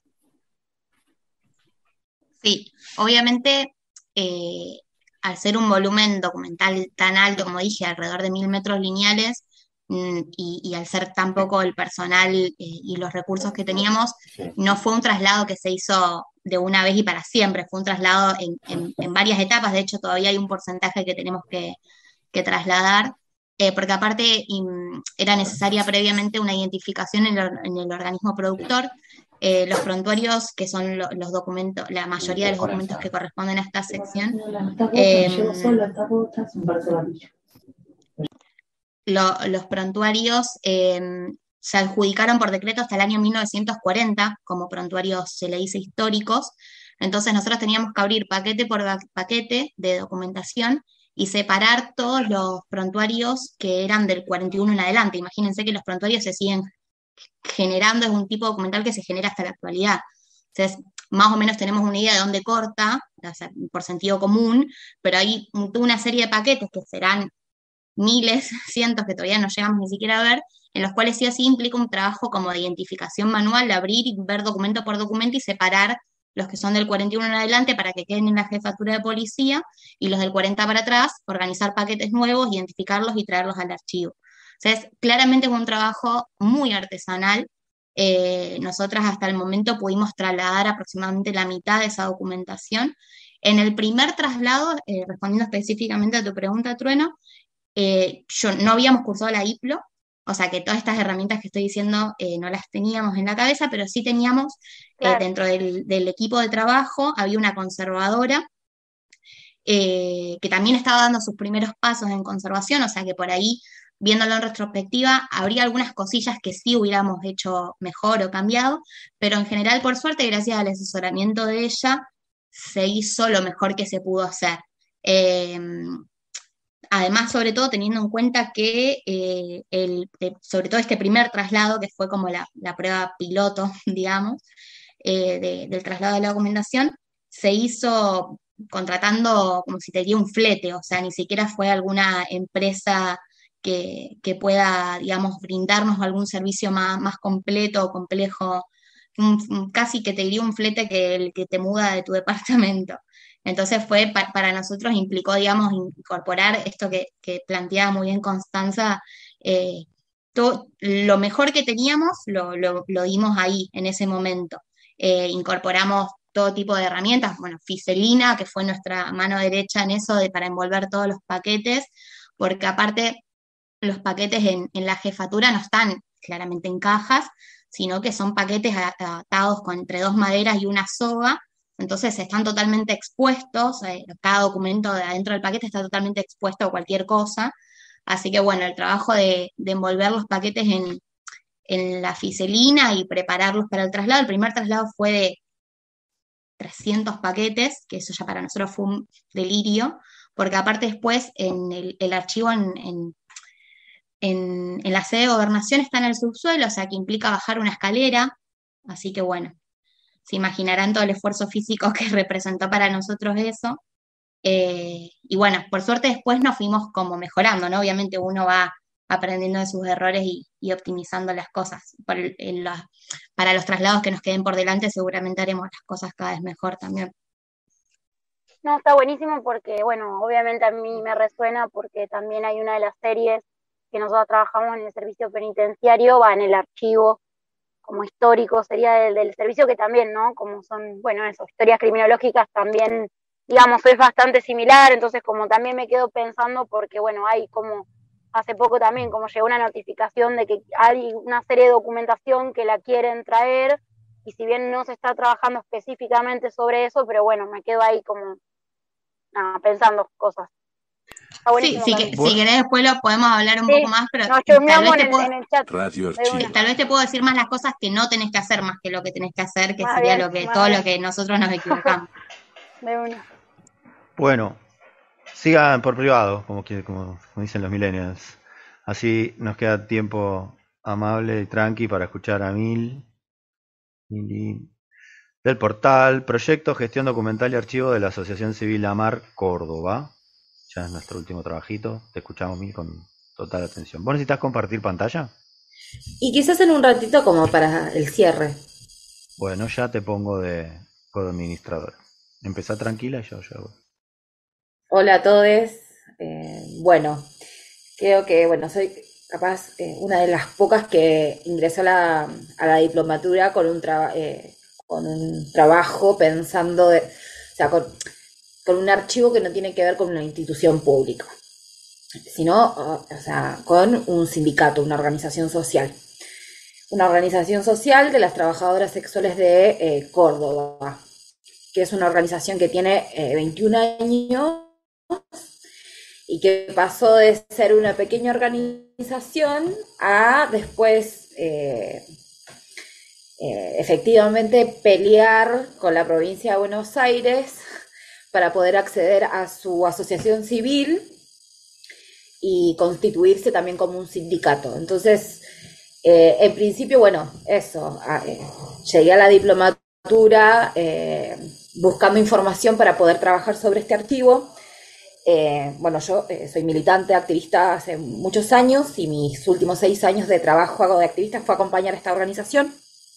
Y eh, en la diplomatura, bueno, fui incorporando bueno, muchísimos saberes, entre estos también fue desdibujando un poco el proceso que queríamos hacer con el equipo de Amar Córdoba. En principio, la idea era poder trabajar un poco con su archivo más histórico, que capaz tiene que ver más con del tipo documental, eh, afiches, volantes, convocatorias, banderas, todo, todo este sedimento eh, de su lucha política que a nosotros nos sigue pareciendo y, eh, que, que, era una parte súper importante para poder poner sobre la mesa las, las, políticas públicas que requiere el sector.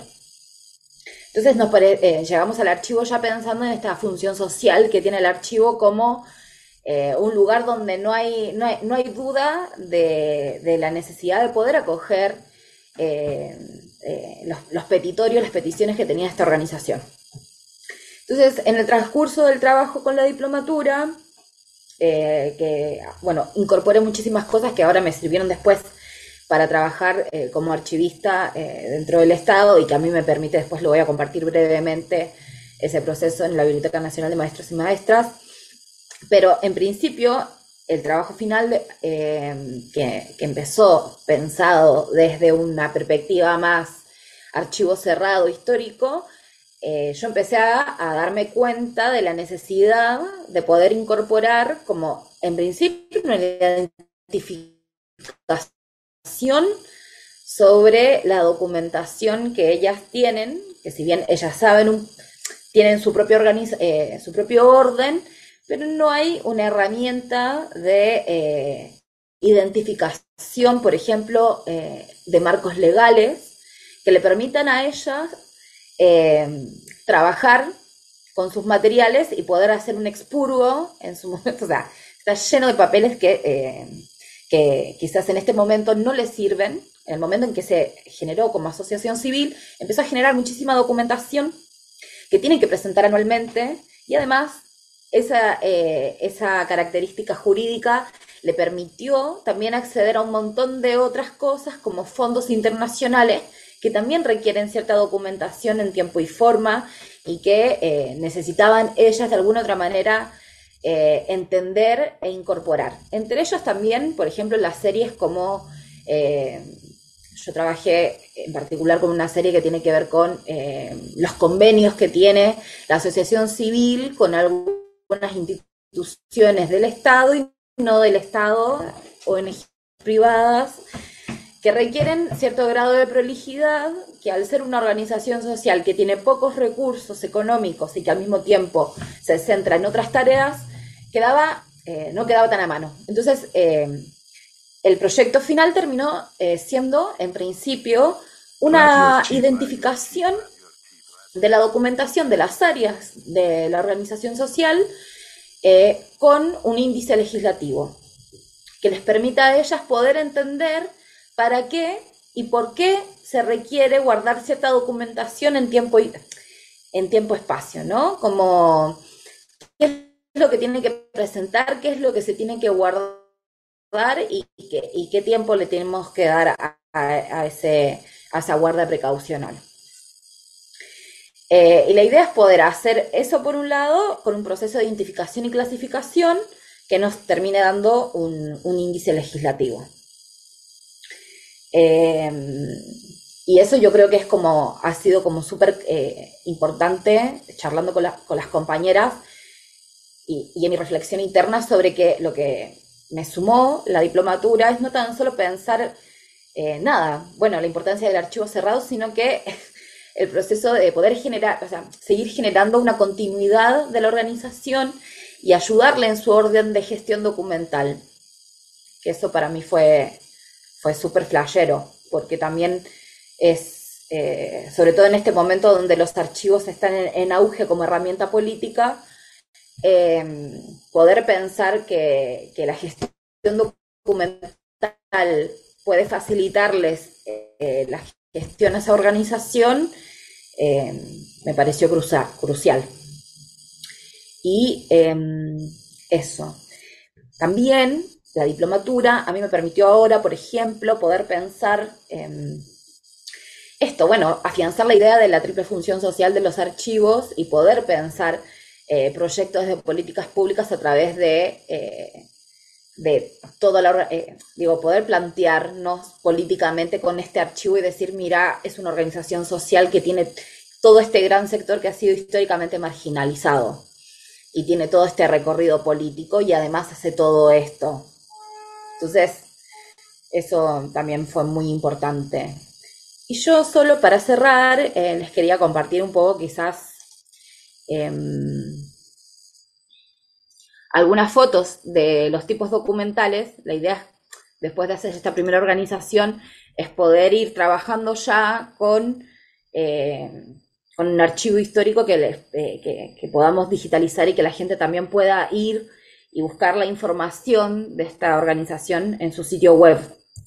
Entonces, pueden encontrar como mucha diversos tipos documentales eh, de su lucha. Por ejemplo, ahí hay muchas eh, compañeras asesinadas trabajando.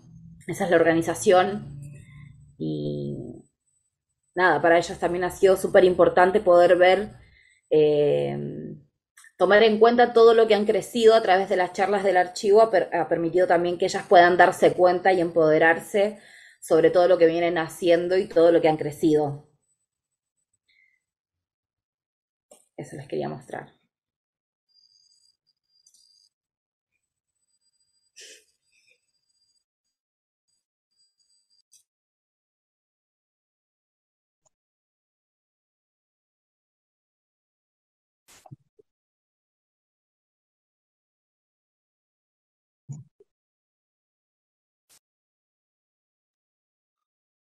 Mil.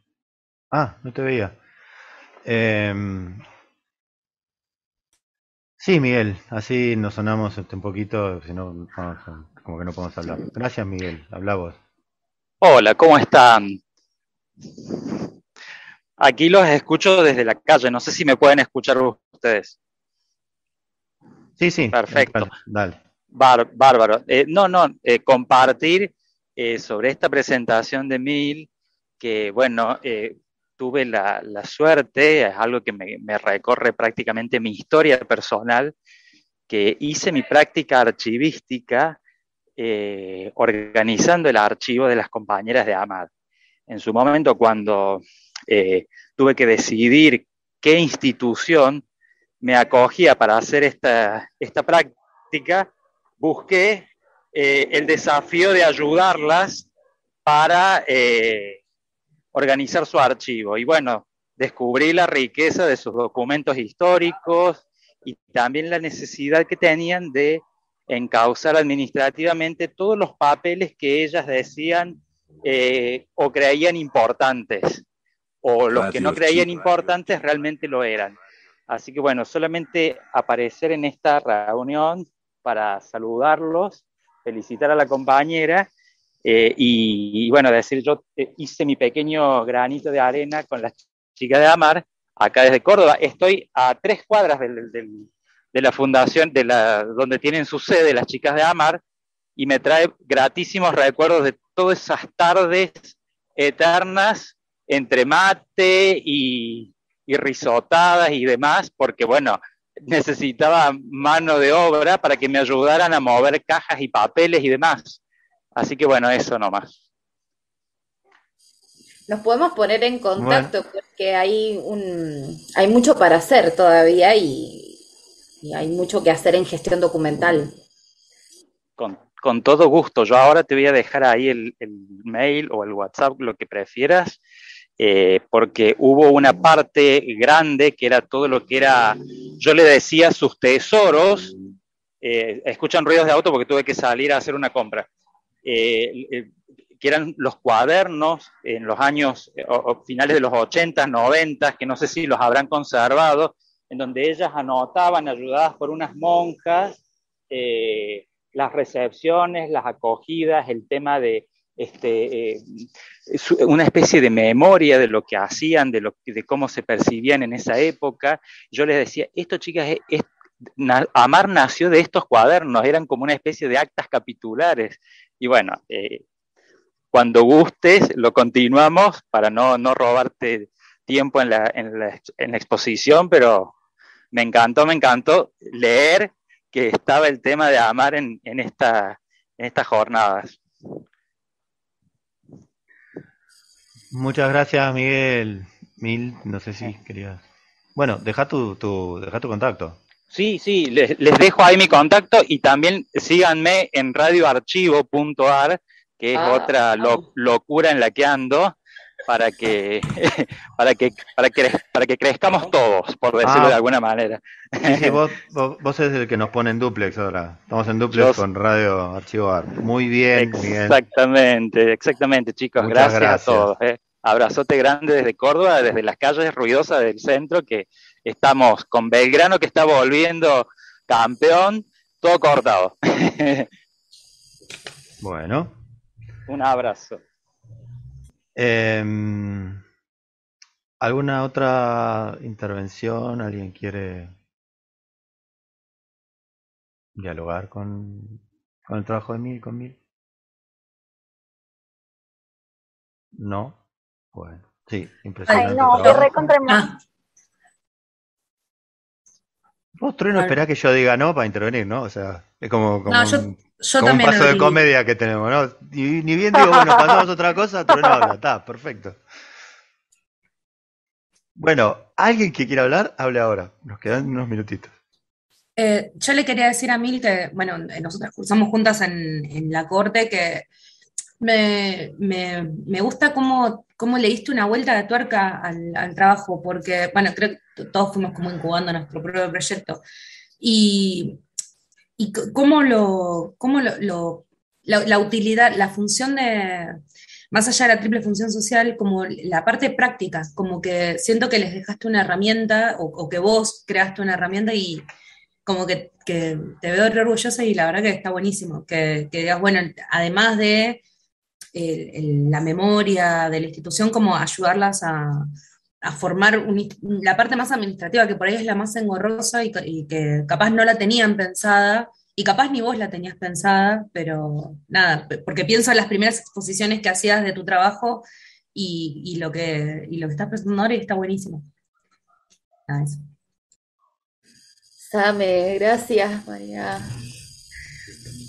Sí, sí, fue. Em, como que esa vuelta de tuerca y, al final uno se da cuenta que como, como archivista también, nada, sos muy investigadora, como que te toca investigar y empezar a buscar y, me acuerdo el módulo de Nico y Andrés que fue empezar a romperse la cabeza sobre, bueno, cuáles eran las, las legislaciones que cruzaban la documentación producida por Amar y nada, y fue increíble. Y ahora sigo navegando en, ese limbo eh, que nos permita poder tener claridad y aportar esa claridad a las compañeras a la hora de eh, poder pensar su, eh, la creación de su documentación.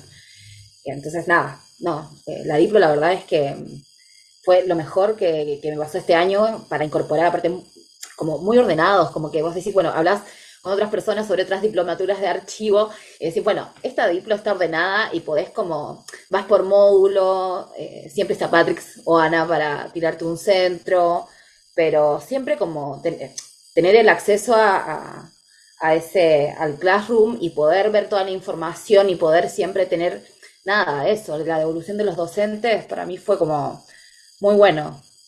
Gracias. Eh, no, gracias a vos. Yo, Mariana, iría cerrando mi parte y te dejo, por supuesto, el cierre si podés, como puedas. Em, gracias a todas eh, las expositoras. Gracias a todas y todos los que participaron de esto, de, la Diplo y de esto.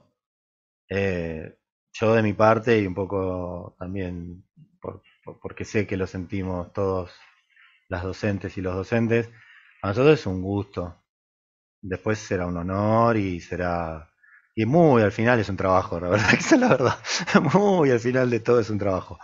Pero es un gusto y es un honor y, ver este eh, en todos los casos desde el primero que se presentó hoy hasta el último, eh, cómo llegan con la idea de con la idea de digitalizar y se van con la idea de identificar y como que uno dice, ah, bueno, eh, algo pasó en el medio. Así que bueno, de mi parte, eh, eso, un gusto inmenso acompañar. Y, y en estos tiempos tan de redes y tan de que la red, porque la red, ¿no? Y que, justo que termine 2000, eh, la red, las redes se, ejercen, no se declaman. Eh, estamos, se, habla mucho de las redes y se hace poco en red. Y me acuerdo cuando nosotros en el campo archivístico, digamos, el plantel docente, era el plantel docente. Y, y la red era eso, era chiquita, muy chiquita. Y ahora es cada vez más grande viene una persona, la mandamos al Banco Nación, eh, entra Miguel ahora a ofrecerse para trabajar, eh, hablamos con Miguel Farías, que yo pensé que iba a hablar hoy, este, y, colaboramos en Tucumán, y eso para nosotros es oro en polvo, es realmente oro en polvo y es como la satisfacción de decir, pongámosle pila que vale la pena. Siempre pensamos que valía la pena, pero como bueno, como medio hincha de Racing, este, nos hacíamos fuerte en las derrotas sucesivas. Y ahora ver cómo triunfamos en la constitución de estas redes como... Gracias, muchas gracias. Nos vemos ahí en la vuelta y Marian, te queda el cierre, tenés tiempito. No, eh, dos minutos, no quería, no quería eh, ocupar espacio eh, cuando terminaba cada intervención, solo decir a quienes no tienen, porque a veces pasa que algunos están desde el celu y se pierden todo el mundo paralelo que se da a través del chat, que muchas veces nadie decía nada cuando terminaban las exposiciones, pero había un montón de felicitaciones y saludos y, festejos en el chat que, nada, como se decían, bueno, preguntas, por ahí no había preguntas, sino solo saludos a, a les compas. Em, nada, quería decir eso, que me, que me emocionó fuertemente ver todas estas presentaciones, eh, que me parece que, como dijo Andrés, hay un hilo, hay un hilo conductor. Si bien han hablado de instituciones tan diversas como un banco, la Cámara de Diputados y una, una asociación civil y las Fuerzas Armadas, este, eh, a, pesar de, eso y, y la sección de un archivo histórico provincial, eh, un archivo general provincial, eh, hubo, hubo un hilo re claro que me, parece a mí que tuvo que ver con, por un lado, descubrir la, acción teoría práctica permanente, o sea, nada, algunas lo dijeron directamente, ¿no? Bueno, yo de teoría no sabía nada, acá vine a tomar teoría, yo vine a tomar articulación teoría práctica, yo vine a tomar este, práctica, pensar la práctica directamente. Entonces me parece que algo que, se amasó durante tantos años, ¿no? Que fue como, como tan deseado, tan soñado, eh, en años de prácticas de capacitación, de, capacitaciones en, entornos laborales, eh, y, poder pegar el salto a la formación, haber podido pegar el salto a la formación y además que se puedan, que, que los trabajos se generen y que se puedan mostrar, para mí es es impresionante. Yo no tengo palabras para agradecerles eh, el trabajo, todo lo que significa para esta comunidad, de, para este plantel docente, digamos, escucharles y, escuchar todo, todo este trabajo y escuchar la, voluntad, la vocación y el entender que, bueno, con los recursos disponibles, porque es algo que me vi, nos viven machacando les políticos, las políticas a, les archivistas. Hace poco tuve un encontronazo muy feo con un señor político que me dijo, bueno, pero ¿qué querés? Y si cuando, cuando, quise, cuando quise hacer algo, cuando estaba en tal provincia y tenía un megaproyecto, quise hacer algo, dije, bueno, vamos a hacer algo con el archivo y llamaron a, la persona que sabía de archivos y me pasó un presupuesto de no sé cuánto y, así es imposible, ustedes son siempre todo nada, con ustedes no se puede hablar. Eh, Entonces empezar a romper esa imagen, empezar a romper esa lógica, decir, bueno, no, por, no porque una se vaya a conformar, ¿no? Perdón, se me, se me cayeron los apuntes. Eh, no porque, porque una vaya a decir, bueno, es lo que hay y, con eso me quedo, sino como cómo pensar estrategias de desarrollo dentro del mundo de lo real y dentro del mundo de lo posible, que es como empezó Ximena, nuestra, nuestra jefa de la, de la Escuela de Política y Gobierno, la, la, exposición de hoy. Bueno, la Escuela de Política y Gobierno apunta a la construcción de políticas públicas que hagan más eficiente y más justo el funcionamiento eh, del Estado pensando en la sociedad real. Y la sociedad real se constituye con prácticas. Y acá estamos mostrando prácticas de construcción de una sociedad real distinta y me quedo con esto que dijo Mil al final, que fue, ellas pudieron ver, o sea, en los talleres sobre el archivo le pudieron mostrar a ellas todo lo que han crecido y empoderarse eh, con eso. Bueno, yo creo que hoy hicimos un poquito un, taller de, archivo, ¿no? y, pudimos ver todo lo que hemos crecido y podemos empoderarnos, enorgullecernos este, y ser un poquito más felices con, esto y se los agradezco eh, profundamente. Ahí te paso la palabra, Claudia, que levantó la mano. Eh, el jueves nos vemos para, la segunda parte de estas, de estas, de estas presentaciones. Eh, y, y, nada, la gente de la tercer corte mañana tiene taller, no se olviden. La clase de, el, encuentro este no reemplaza el taller de mañana. Euge les estará esperando y, nos vemos el jueves. Claudia. Gracias, gracias. Em, no, hay alguien dijo algo en el chat que me recordó algo que eh, quería decir, que hoy a la mañana estábamos conversando con un compañero que está cursando también eh, la tercera corte como yo, y dice, ¿y ahora qué más? Porque yo me quedé embalado, yo quiero seguir aprendiendo. Yo, y le digo, bueno, ahora una maestría profesionalizante tenés que ir a España o Colombia.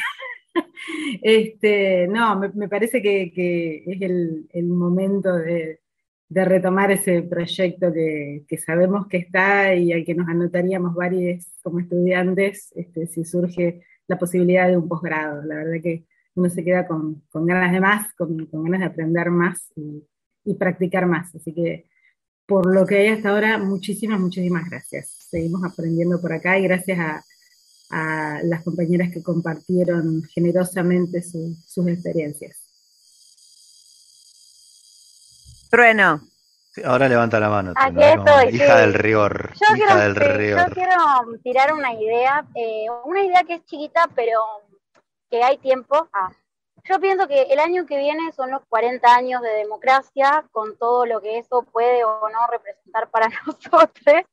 Y solo me quedo pensando que quizás ya que somos una comunidad muy hermosa, crítica, pensante, con ganas de hacer, que quizá la dejo ahí picando, que podamos pensar quizá el año que viene una acción concreta de un día donde esta premisa de abran los archivos, que es un poco la que anda dando vuelta también en este flyer, sea real. Y me parece que también, eh, o sea, pienso que el año que viene son 40 años y van a haber oportunismos políticos de todos los colores, pero nosotros que somos militantes del largo placismo, eh, no sé, podemos generar ahí una acción de un día que no requiera más que hacerla una vez y ya, Así que no sé, no, no tengo una idea muy formada ni nada, simplemente me quedé pensando qué podríamos hacer cada uno de los archivos que nos toquen, ya sean institucionales, me quedo pensando en lo de Mil, porque obviamente me, me conmueve, me convoca, porque también vengo de una militancia y es re interesante pensar el archivo como una herramienta de disputa de sentido, de transformación política, de muchas cosas, así que no sé, la dejo, porque además este, incluiría la tercera cohorte ah, y a la cuarta. Yo ya voy por la tercera, quiero decir. Sí, te iba, te iba a comentar algo al respecto, pero después lo vemos por privado, Tronito, querida. ¿Cuántas cortes vas a, vas a hacer? Ah, regalo, regalo trabajo. Regalo trabajo, dejate hinchar. Bueno, che, ahí ya quedé pegado. Mariana, creo que estamos bien, estamos bien de horario. Eh, me parece que por hoy está todo, está todo más que bien, muy emocionante, como decía antes, muy, muy como dice Mariana, ¿no? Hay, hilos, hay los conductores y hay voluntades y hay de todo. Eh, los de la tercera corte, mañana, miren Eugenia cómo los está mirando, eh, no se les ocurra este, pasar No, estuve ayer en la... No, tienen que ir mañana, porque si no, chaca, chaca. Y bueno, nos vamos a ver por ahí. Nos estamos viendo con, todo el mundo el, el, jueves en la segunda parte de esta presentación y como surgió por el chat y se mencionó, el brindis de fin de año de las tres cortes es el 7 de diciembre, está pautado desde abril, incluye para la gente que viene del interior y que ya sacó los pasajes más baratos hace tiempo, eh, visitas guiadas durante ese, durante ese día, el miércoles, este, y después viene el fin de semana largo de, cuatro días, así que se pueden quedar paseando. Che, beca, beca, beca INAP para el brindis, no, no, no. Miguel, voy a dejar la grabación, ¿sí? Voy a cortar la grabación y ahí te voy a contar. A ver, porque esto lo hace Patrick. Perfecto. Recording stopped. Radio Archivo.